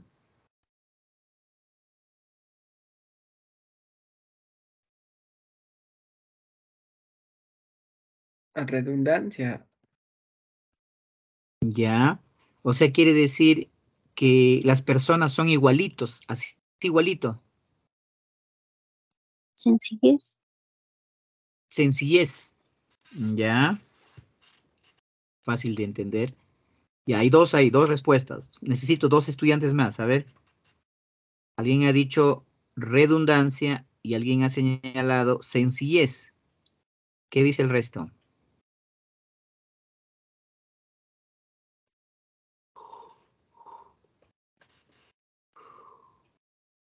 Polisemia. Polisemia. Varios significados. Abstracción. Abstracción. ya ves. Ahora sí tenemos cuatro respuestas diferentes, ¿ve? ¿Sí o no? Es abstracta también.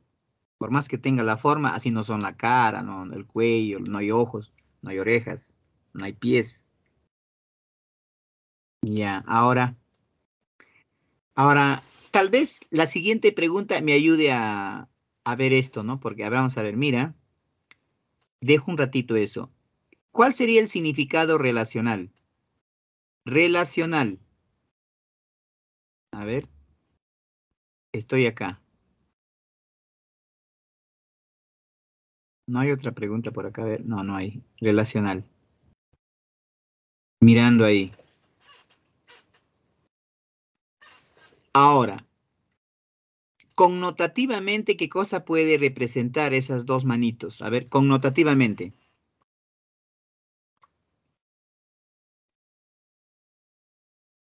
de- dependiendo cómo interpretas, la característica puede encajar. A ver. Porque puede ser sencilla, claro que sí.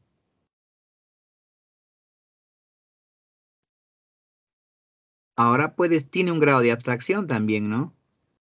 Compleja no puede ser. Polisemia también podría ser, aunque se entiende fácilmente que creo que son dos, dos sujetos que están unidos por el brazo. Ya, si tú no entiendes de qué trata esa imagen, entonces eh, no será sencillez, pues, pero yo te pregunto, ¿qué cosa puede interpretar de esta imagen? A ver, ¿cuál sería su significado connotativo?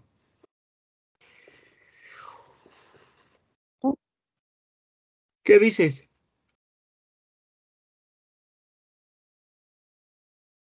Chócala, chócala, para el examen, chócala, dice, ¿no?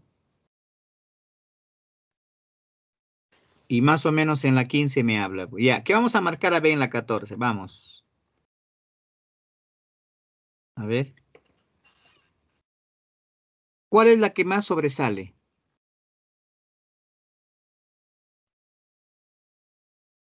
¿Qué marcaría ahí? Compleja no es. Esta se elimina. Esta no va. Ahora, redundancia.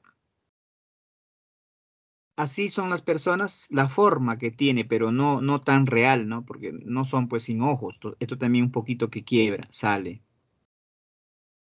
¿No? Ahora me quedan esas. Ahora, polisemia ah, me puede generar varias ideas, pero, pero ¿crees que es polisémica? puramente o se entiende? Parece que son dos personas que están unidos, como decir, como ayudándose, apoyándose, algo, ¿no? Yo pienso que quedaría entre la A y la E mi respuesta. Esto tampoco no, no, es, no es tanto, ¿no? Se entiende acá, dos personas que están unidos por algo. Ya, ¿cuál sería? Entre la A y la E, define. Ahí está la clave.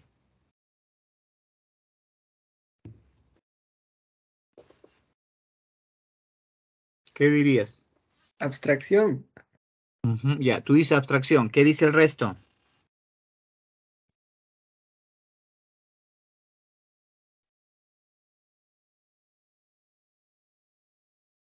¿Qué dice el resto? Entre esas dos claves A y E, ¿qué marcaríamos? ¿Cuál sería lo más eh, acertado, no?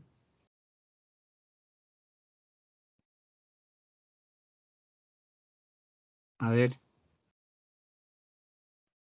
Son más o menos siluetas de dos personajes sobre un fondo y que están unidos. ¿Eso tendría que ser qué? Esto tendría que ser B, abstracto. No, tú, tú, en tu mente tú lo tienes que la abstracción es solamente líneas, rayas, y eso es lo que te hace ver que no es pues abstracto. En realidad esto es, esto es una, una, como una silueta nada más, son abstractos, porque no se ven las caras, no se ven sus formas. Ah, eso, marcaríamos eso. Ahora, ¿por qué no sencillez? Mm, bueno, sencillez sería fácilmente pues que yo pueda entender, ¿no? Dos amigos, dos estos, pero más como está elaborado la imagen, siempre yo empiezo por cómo se ha elaborado, a partir de esa elaboración, de esos elementos que presenta, se genera todo. Entonces está basado en la abstracción, o sea, sin sus rasgos reales, ¿no? Aunque mantiene la forma, pero no los rasgos reales. Un poco discutible. Vamos por acá. 15. ¿Qué marcarías en la 15? Significado relacional. ¿Qué despierta en ti esta imagen? ¿Qué despertaría en ti? Cultivemos el baile, cultivemos la amistad, desarrollemos la empatía, incentivemos la alegría infantil, motivemos las relaciones humanas. ¿Qué sería?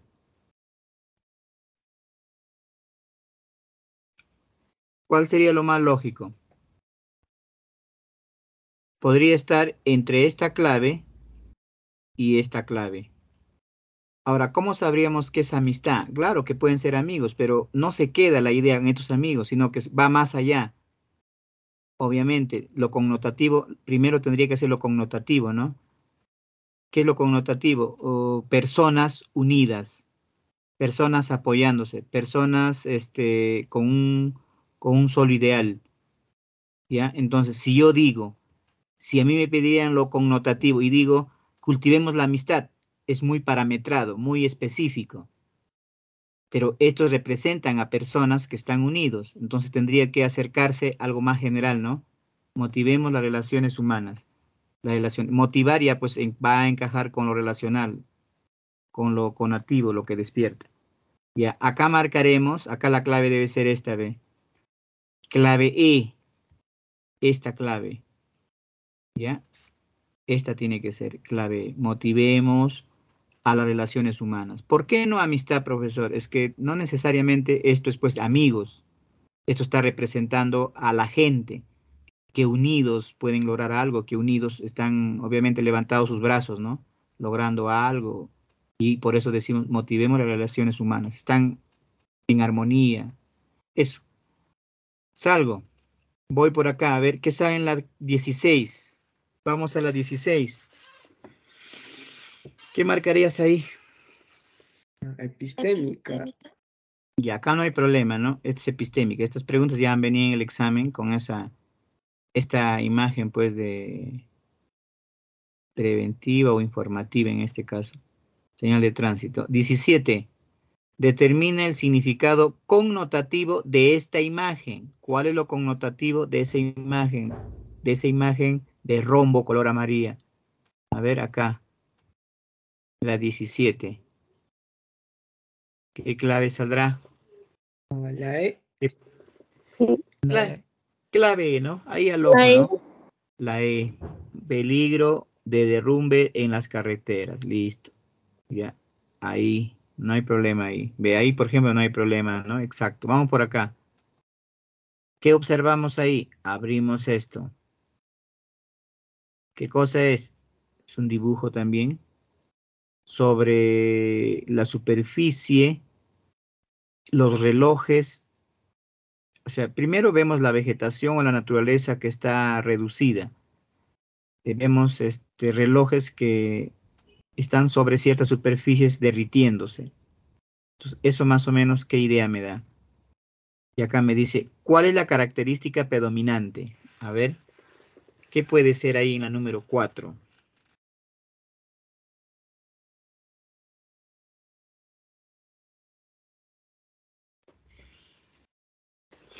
Característica. Sencilla no es. Esto se elimina. Estética no es pues, característica. Sencilla no es. ¿Por qué no es? Porque tiene varios elementos y que obviamente me va a decir algunos significados. Ahora, polisemia puede ser. ¿Ya? Polisemia puede ser. Iconicidad no puede ser, porque los relojes no son derretidos, así no es. No, es, o sea, la iconicidad un poco que se acerca a la realidad.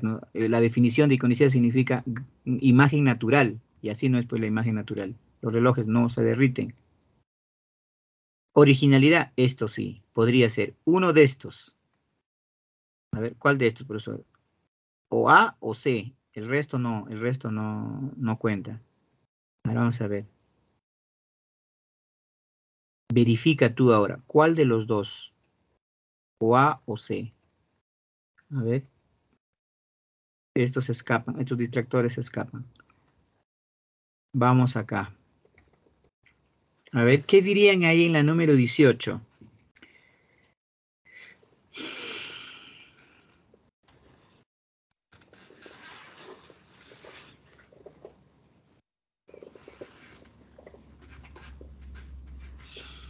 ¿Cuál es la característica predominante?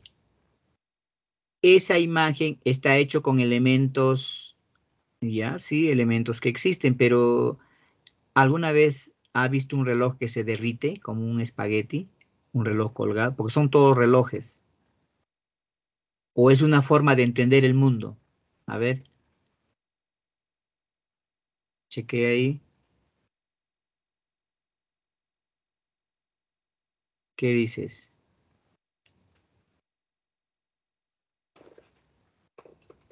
Originalidad. Ajá, ahí más, más prima eso, ¿no? Porque no hemos visto pues estas imágenes. O sea, estos relojes existen, pero una forma de representarlos de una manera distinta es para darnos a entender algo, ¿no? Una forma de entender el mundo, como el león peinadito, por ejemplo. Ya, a partir de esa imagen ya se me generan pues la polisemia, ya se me generan otras. Entonces yo debo marcar acá, ¿qué clave entonces? Clave A, original, originalidad, ¿ya? Acá sería la originalidad. Por lo tanto, ¿qué saldría en la número 19? A ver, vamos a achicarlo un poquito más. 19, ahí. 19. Determina su significado connotativo de esa imagen. Piensa, a ver, ¿qué puede salir ahí?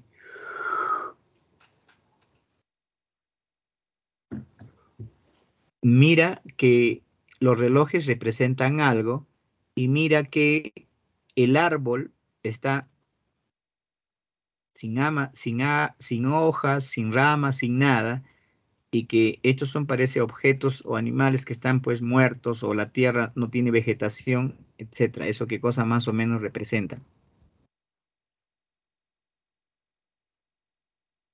Clave. ¿Qué puedo marcar?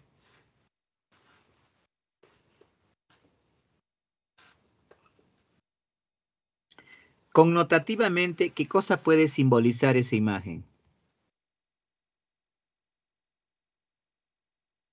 A ver, lancen sus claves, no se preocupen, cada uno lee y bueno, como hay alguna alternativa ahí, se puede acercar a esa idea. A ver, vamos a analizar, ¿ah? A, ¿el tiempo lo manejan los artistas? Pero ¿de dónde saco artistas yo? No hay un elemento que me permita interpretar de arte, de artista. B, ¿podemos desdoblar el tiempo a nuestro albedrío? Pero ¿cómo desdoblar a nuestra libertad? Si vemos ahí algo que está derritiéndose y que los árboles han perdido, etcétera, etcétera. Ya. C, ¿podemos medir el tiempo solo con relojes? No. Podemos medir, pero ahí no me habla de medir, ¿no? y con relojes, dice. Ahí más o menos está refiriéndose que el reloj se está extinguiendo, algo así. A ver. ¿El tiempo es relativo en nuestra existencia? ¿Qué dice? Algo más subjetivo, ve. El tiempo es relativo en nuestra existencia. Puede ser. Acá el tiempo se está derritiendo pero la naturaleza un poquito ha cambiado, pero sigue estando ahí presente. Bueno, podría ser, ¿no? E, el tiempo apremia y enloquece al hombre, ¿no? ¿De dónde sacaría esa idea? Porque todo lo que yo interpreto debe salir de la imagen, algún elemento para poder predecir. ¿Cuál sería lo único que queda ahí? Clave. Vamos para la pregunta número 19. ¿Cuál es la única? ¿Lo vio o no? Esta, ¿no? El tiempo es relativo en nuestra existencia. Esto. Es relativo, pues. ¿Por qué relativo? Bueno, porque si de alguna manera ves los relojes que se están extinguiendo, eso es más o menos como es el tiempo, pero la naturaleza permanece, pero acá no vemos a nadie, ¿no? Y en la vida real también es igual, ¿no? Nosotros podemos vivir 20, 30, 70 años, pero es relativo en función al tiempo real, o sea, al, tiempo del, universo. Es, bueno, es una interpretación subjetiva esto. Clave, la única clave de para la 19. Vamos por acá, algo más sencillo. A ver, ¿qué miras acá? ¿Qué cosa es? México, Centroamérica, más o menos es, ¿qué cosa ven acá? A ver chicos, ¿qué cosa ven? Un mapa. Ya, con esa idea me voy. Un mapa. ¿Cuál será su función? Si es un mapa. Epistémica.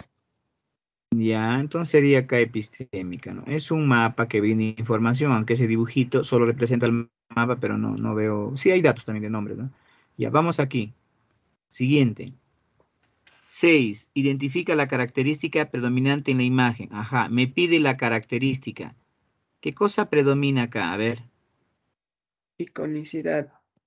Ajá, ahí no, en esa imagen blanco y negro, ahí no hay ni un problema, es una imagen icónica, ¿no? Acá, iconicidad, ahí sí ve una fotografía blanco y negro, la persona real. Vamos por acá, imagen 7. Que está en la imagen 7. Señala el significado connotativo de esta imagen. A ver, te espero. ¿Qué marcarías? Clave. Ah, ¿Ya la A. Alguien dice la A. Ya, el otro, ¿Ya sé? la C. ¿Por qué no puede ser la A? ¿Eso sería connotativo o denotativo? Porque yo estoy viendo la ropa de un ande, de un andino. Entonces tú dices, el campesino laborioso del ande, ya estás viendo eso. Pero a mí me pide lo connotativo, algo que sea interpretación. ¿No? Entonces, ¿qué cosa dice? Él echa semilla y de la semilla sale esto. ¿Y eso qué sería más o menos? Él está echando semillas, pero de una semilla de su surco sale esto, o sea, él siembra. Entonces, ¿qué cosa está generando vida? ¿Qué sería entonces? Esto, ¿no? Clave. El único, ¿ah? El sembrador es fuente de vida. Clave C. ¿Cómo llego a eso? Bueno, es un sembrador, pero que echa semillas de su bolsa y sale pues esto, ¿no? Es lo más, este, lo más, este, subjetivo o interpretativo, lo connotativo. Ahí debe estar ahorita la C. Voy por acá, a ver acá, última imagen creo. Vamos. Allá, penúltima. 23. ¿Cuál es el significado connotativo de la presente imagen? ¿Qué dices?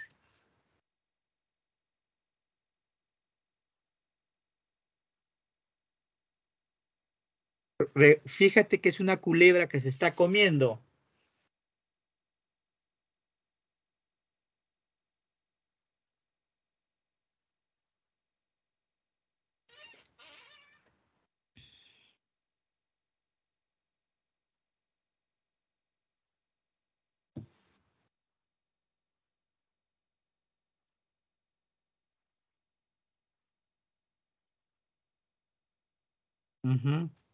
¿Qué saldría?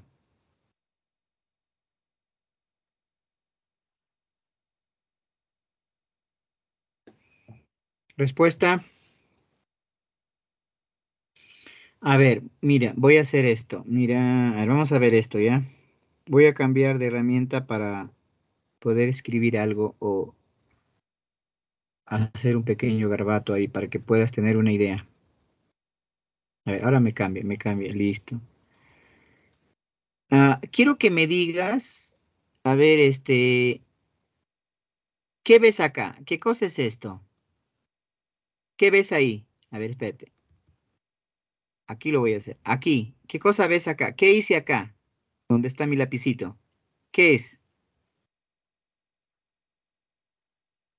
Una línea.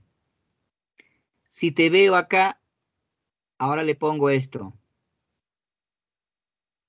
¿Qué cosa ves ahora?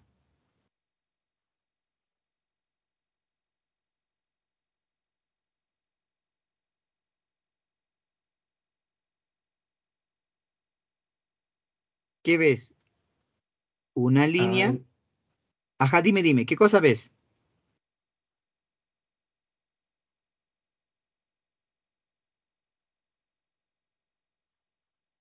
¿Qué es lo que ve ahí? Una línea con dos puntitos. Profesor, esto es el signo de la división. Eso de división tú ya estás interpretando. Si yo digo acá, ¿qué ves esto ahora? Es una raya. Ahora yo pongo esto. Esto puede ser el menos, esto puede ser el más. ¿Ves? Signos de, de resta, signos de suma. eso de decir signo de resta, signo de suma, signo de división, eso es una interpretación, eso ya es lo connotativo.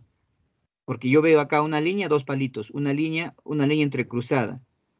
¿Esto qué ves? Es una línea en forma de curva. Si tú me dices, esta es una radicación, esta es una interpretación ya lo que estás haciendo. Igualito acá. ¿Qué ves acá? Una culebra en forma de un 8 tirado. Pero eso, ¿qué cosa es? Interpreta, ¿qué cosa es? Y la respuesta, El ¿cuál sería? infinito. El El infinito. infinito. Ajá, el infinito. ¿Ves? Ahora sí me vas a decir, es el infinito. Entonces ya no me vas a decir, no, profesor, pero yo estoy viendo el infinito. No, tú estás interpretando ya. Cuando tú me dices el infinito, tú interpretas. Es lo mismo que he hecho acá. ¿Qué ves acá? Una línea con dos puntitos. No, profesor, este es el signo de división. Eso es una interpretación. Es igual que esto. Entonces una culebra que se está comiendo en forma de 8 echada. Pero ¿eso qué es? Eso es el infinito, pues, ¿no? Y ahora tú sabes ese signo, claro, pero en realidad tú ves, tú cuando ves eh, lo que hace el profesor en, en aritmética, no sé, ¿no? Hace pues el signo de, de infinito, ¿no? Dibuja, dibuja pues el signo de infinito, ¿no? Claro, este es un signo como un lazo. Ahora, cuando tú dices infinito, esa es una interpretación que le estás dando tú ya. Ahí la respuesta sería la clave 23E. Vamos a la 24. A ver, ahí hay una figura. Otra señal de tránsito. ¿Qué saldría ahí? Epistémica. Ya ahí sería epistémica, no hay ningún problema. Y por lo tanto, ¿qué puede ser aquí? Ajá. Determina su significado connotativo. ¿Cuál sería lo connotativo para esa imagen?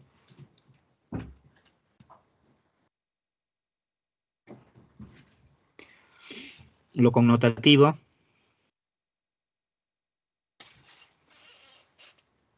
La B. espacios para ciclovía. Ya. Espacios para ciclovía. ¿Qué dice el resto? No hay más. Vía para practicar ciclismo. No, no puede ser, ¿no? Es un espacio para ciclovía, el único. Esto. Clave B. Listo. Salgo de esto y me voy a la lectura literal a esta parte de lectura de, de aptitudes de percepción, aptitudes de análisis, de imágenes, viene la lectura literal, ¿ya? desarrollar lectura literal. Vamos a leer, a ver, todos son literales. ¿Quién podría leer este texto 1? ¿Alguien nos ayuda el texto 1? Chicos, un poquito más lo puedo agrandar, a ver. ¿Qué saldría? ¿O quién puede leer ese texto 1? No es tan grande, es un texto pequeño. Aquí, pequeño nada más. Me pide, identifica lo que se afirme en la lectura. Ah, me pide, es incorrecto afirmar una idea incompatible. Ya, me pide una idea compatible, ahora una idea incompatible y me pide la alternativa que discrepa, que es lo que se afirma algo que, una clave que contradiga lo que dice el texto. Entonces, ¿alguien puede leer este texto? ¿Quién podría leer? Nos apena, dice, comprobar.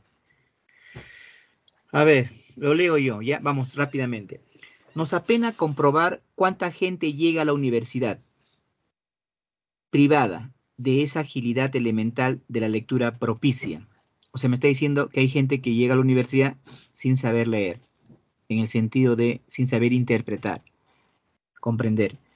Esta presteza en el juicio, esa familiaridad con la intuición vendrán asegurados por la escuela. O sea, ¿qué me dice? La escuela es la que debe formar eso. Si ella dedica buenas jornadas de, a la lectura, entonces me dice, la lectura, la lectura no es como muchos creen, un deleite para los ojos fisiológicos. La lectura es un duro y hermoso ejercicio para los ojos mentales, o sea, quiere decir para la mente, para pensar, para interpretar, para razonar. ¿Ya? Leer supone profundizar, privilegiar la memoria, acá ahí se ve. La memoria. Leer supone profundizar y privilegiar la memoria. Afanosa conquista a la que muchos aspiran. Privilegiar, dice. Privilegiar, o sea, es decir, bueno, la memoria de trabajo, ¿no? O la memoria de largo plazo también, la que vamos a recordar. No ayuda a la inteligencia, dice. ¿Ya? Ah, privilegia la memoria. No ayuda a la inteligencia. Afanosa conquista a la que muchos aspiran. No ayuda a la inteligencia. Leer es una convocatoria para ser cada día más claros, cada día más combativos en el razonar y en el actuar. O sea, leer me permite razonar y me permite ser distinto al resto. Quien no aprende a leer no estará capacitado para ser juez. Juez es juzgar, dar un juicio de valor, ni ser crítico, ¿no? Poder eh, analizar las cosas. Sabía, sabias, son por eso las palabras de Harold, importa para que los individuos tengan la capacidad de juzgar y opinar por sí mismos. O sea, el saber leer es para juzgar y opinar por sí mismos, autónomos, que lean por su cuenta. Por eso, antes que ofrecer modelos de lectura, la escuela debe dedicarse a despertar el amor por la lectura. O sea, la escuela, ¿qué debe hacer? Su función debe ser despertar el amor por la lectura. Con ello, los muchachos se acercan, se acercarán al porvenir. Ya, vamos acá. Me habla de la lectura y señala que el colegio debe darle prioridad. Identifica lo que se afirma en la lectura. A ver, ¿qué se afirma en la lectura? Para esa pregunta. A. El libro nos permite conocer diversas generaciones, generaciones me ha hablado. B, la lectura es un duro ejercicio para los ojos mentales. A ver, la lectura es un duro ejercicio para los ojos mentales, dice. A ver, esto vamos a verificar. Los ojos mentales. Leer supone pronunciar privilegiar. Ya dice, eh, es un duro y hermoso ejercicio para los ojos mentales. Ah, ahí me, señala también eso. La lectura es un ejercicio para los ojos mentales. La escuela debe fomentar el amor por la lectura. Ya. Es necesario que los jóvenes desarrollen un criterio. Hay, hay personas que llegan a la universidad sin saber leer. Ya. Identifica lo que se afirma en la lectura. ¿Cuál sería mi respuesta ahí?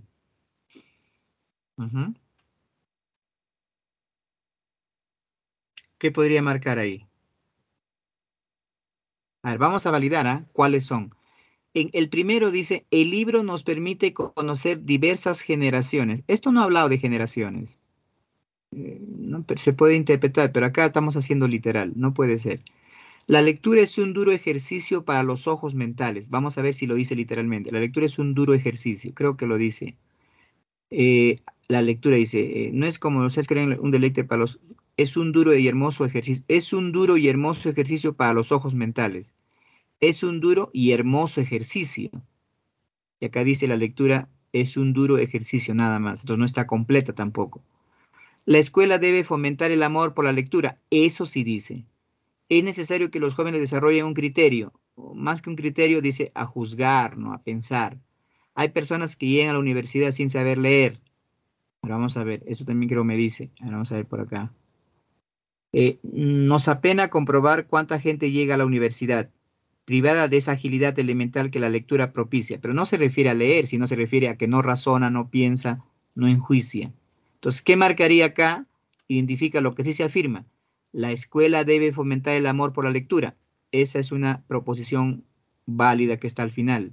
Por eso, antes que ofrecer modelos de lectura, la escuela debe dedicarse con, dice, en despertar el amor por la lectura. Esta, ¿eh? Entonces, lo, más importante de estas afirmaciones lo que más complementa esta, ¿no? La escuela debe fomentar el amor por la lectura. Esta clave debe ser. Clave C. Ya, vamos. A ver acá, ayúdenme. ¿Cuál sería lo incorrecto? En la número 2. ¿Cuál no ha señalado el texto? En la pregunta 2. ¿Qué cosa no se ha señalado? Según el texto, es incorrecto afirmar que. A ver. ¿Qué marcarías? La B.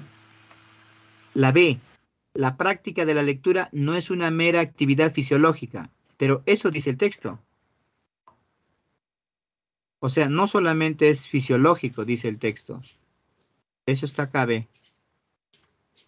Eh, Ah, en esta partecita. Aquí. Aquí ve. Aquí dice fisiología. No es, como muchos creen, un deleite para los ojos fisiológicos. No es como muchos creen un deleite para los ojos fisiológicos, es decir, una cuestión fisiológica natural. No es para los ojos, es para más allá. Entonces, no podría ser esa clave porque eso se está afirmando. Hay gente que llega al Parlamento sin hábito de lectura, eso dice es verdadero. La práctica de la lectura no es una mera actividad fisiológica, eso también dice. Las personas que leen con frecuencia privilegian la memoria. Las personas que leen con frecuencia privilegian la memoria, dice la C. A ver, acá dice, es un duro y hermoso ejercicio para los ojos. Leer supone profundizar y privilegiar la memoria. Supone profundizar y privilegiar la memoria. Acá me dice, las personas que leen con frecuencia privilegian la memoria. ¿Es lo mismo? ¿O supone profundizar el privilegio de la memoria? O sea, ¿qué se refiere? Se, está refiriendo a interpretar esa información. Obviamente con los datos que tienes. Y acá dice, las personas que leen con frecuencia privilegian la memoria. No, no se refiere a esto. Ojo con eso. D. Quien aprende a leer tiene la capacidad de emitir juicio. Eso sí. Quien lee, razona y actúa. También. ¿Qué marcaría ahí? Clave. ¿Lo viste o no? Esto. No es lo mismo, ¿ah? Acá sería esta clavecita. No es lo mismo. Las personas que leen con frecuencia privilegian la memoria. No se refiere. Profundizan y no se refiere a la memoria, sino que razonan, utilizan su pensamiento. En la número 3 determina la alternativa que discrepa con lo leído. O sea, si me está diciendo, me está diciendo este texto que la escuela debe promover la lectura más que dar modelos, porque de esa manera el estudiante va a enjuiciar, va a ser autónomo, va a pensar. Entonces, ¿qué alternativa va a contradecir esa idea? Va a discrepar con esa idea que se ha afirmado. A ver, vamos a ver ahí. ¿Qué dice la pregunta? A. ¿La práctica de la lectura no supone el desarrollo del juicio crítico? Es decir, la práctica de la lectura no nos enseña a pensar, a razonar. Entonces acá tengo la A, por ejemplo. B. Con la lectura los jóvenes eh, se acercan al, al porvenir. Ya. Eso sí es cierto. Acá me dice lo que discrepa. Hasta ahí la A puede ser. C. La lectura no privilegia la memoria. No necesariamente la memoria, lo profundiza para que uno razone. D. ¿Es necesario leer por sí mismo para juzgar? También. ¿La lectura propicia la actividad mental? También. ¿Cuál sería la única ahí? Esta. La práctica de la lectura no supone el desarrollo de un juicio crítico. Eso va a discrepar con todo. Porque cuando uno lee, uno por sí mismo puede llegar a criticar o a juzgar, a evaluar. ¿Ya? A ver, salgo de esto. Salgo de esa lectura y me voy a la otra lectura. A ver. ¿Qué dice por acá? Definición del hombre. Vamos acá con definición del hombre. ¿Quién podría leer este texto? A ver, alguien nos ayuda a leer este texto. Definición del hombre. Vamos por acá. ¿Qué me piden? Eh, según el texto es verdadero, una alternativa compatible. Identifica el enunciado que no se plantea en el texto. No se plantea una idea incompatible. La primera es compatible, la segunda es incompatible. O sea, son preguntas literales. La tercera, elija la alternativa cuya idea no se plantea. Otra vez, una idea no compatible. Para eso necesito leer. ¿Quién lee este texto sobre la definición del hombre? A ver, ¿alguien puede ayudarnos a leer? ¿Quién lo lee ese texto 2, chicos? ¿Alguien podría leer?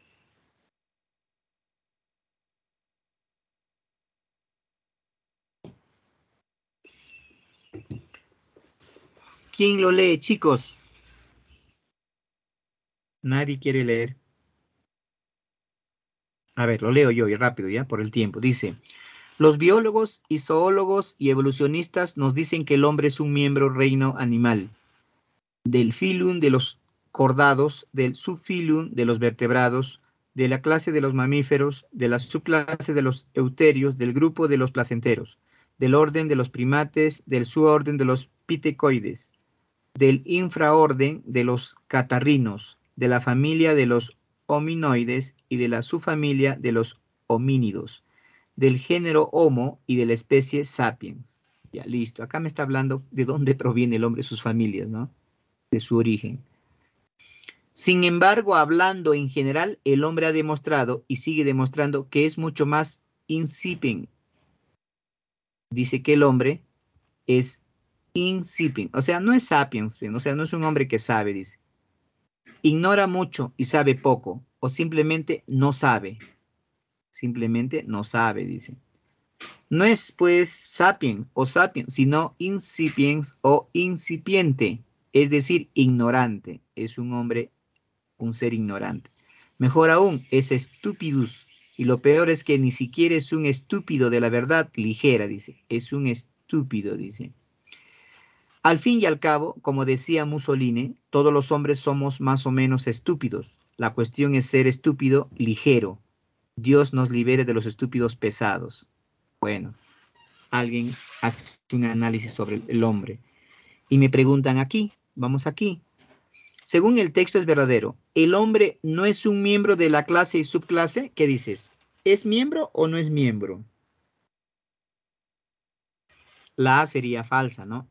El hombre no es miembro de la clase y, subclase, dice. Sí es miembro de clases y subclase, ahí dice no es, sería falso. El hombre es una especie rara de mamífero. ¿Rara de mamífero? No. El hombre no es un primate, sí es un primate. El hombre es un estúpido de la peor clase. Ajá, eso sí dice. Es un estúpido. ¿No? Dice, a ver, vamos a ver, dice, no es pues sapiens sapiens, sino incipiente incipiente. Y mejor aún, un estúpido. Y lo peor es que ni siquiera es un estúpido de la verdad. Y al cabo, como decía, es un hombre estúpido. Vamos a ver, dice, el hombre es un estúpido de la peor clase. ¿Ya? Que es mucho más incipiente. Eh, mucho más incipiente, la peor clase. Esa, esa información dice o no dice. Dice, sin embargo, y hablando en general, el hombre ha demostrado y sigue demostrando que es mucho más incipiente o que sapien, ignora mucho y poco, o simplemente no sabe. No es pues sapien, sino incipien o incipiente, es decir, ignorante, y mejor aún, es estúpido. Y lo peor, y lo peor es que ni siquiera es un estúpido de la variedad ligera. Al fin y al cabo, como había Mussolini, todos los hombres somos más o menos estúpidos. La cuestión es ser un estúpido ligero. Dios nos libera los estúpidos pesados, de la peor clase. Claro, de alguna manera me dirá eso, ¿no? Porque se refiere a la subclase, clase. Vamos a ver. Mm, dice, de la peor clase. Dios nos libere siempre de los estúpidos pesados. A ver, Dios nos libere de los estúpidos pesados. ¿Qué marcaría en este número 4? Parece que la D no me dice. Dios nos libere siempre de los estúpidos pesados. ¿Eso dice o no? La última clave.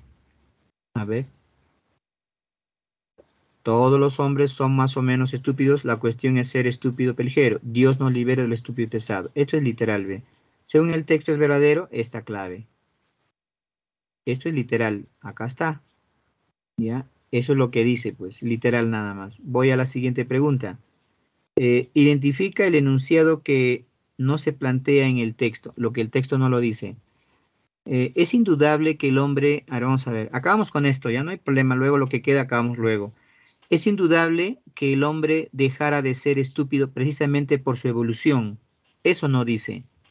En ningún momento dice que el hombre dejará de ser estúpido progresivamente por su evolución. Este dato no me dice, ¿ah? a ver, vamos a dejarlo ahí, pero hay hombres estúpidos ligeros y estúpidos pesados, sí. Mussolini tiene aversión a los estúpidos pesados, sí. El hombre es más ignorante que sapiente, eso también dice. ¿no? Se refiere al hombre. E, el hombre no sabe nada, eso también dice el texto. El hombre no sabe nada. Ignora mucho o sabe poco, simplemente no sabe, dice. No sabe, ¿no? O no sabe nada. Vamos por acá.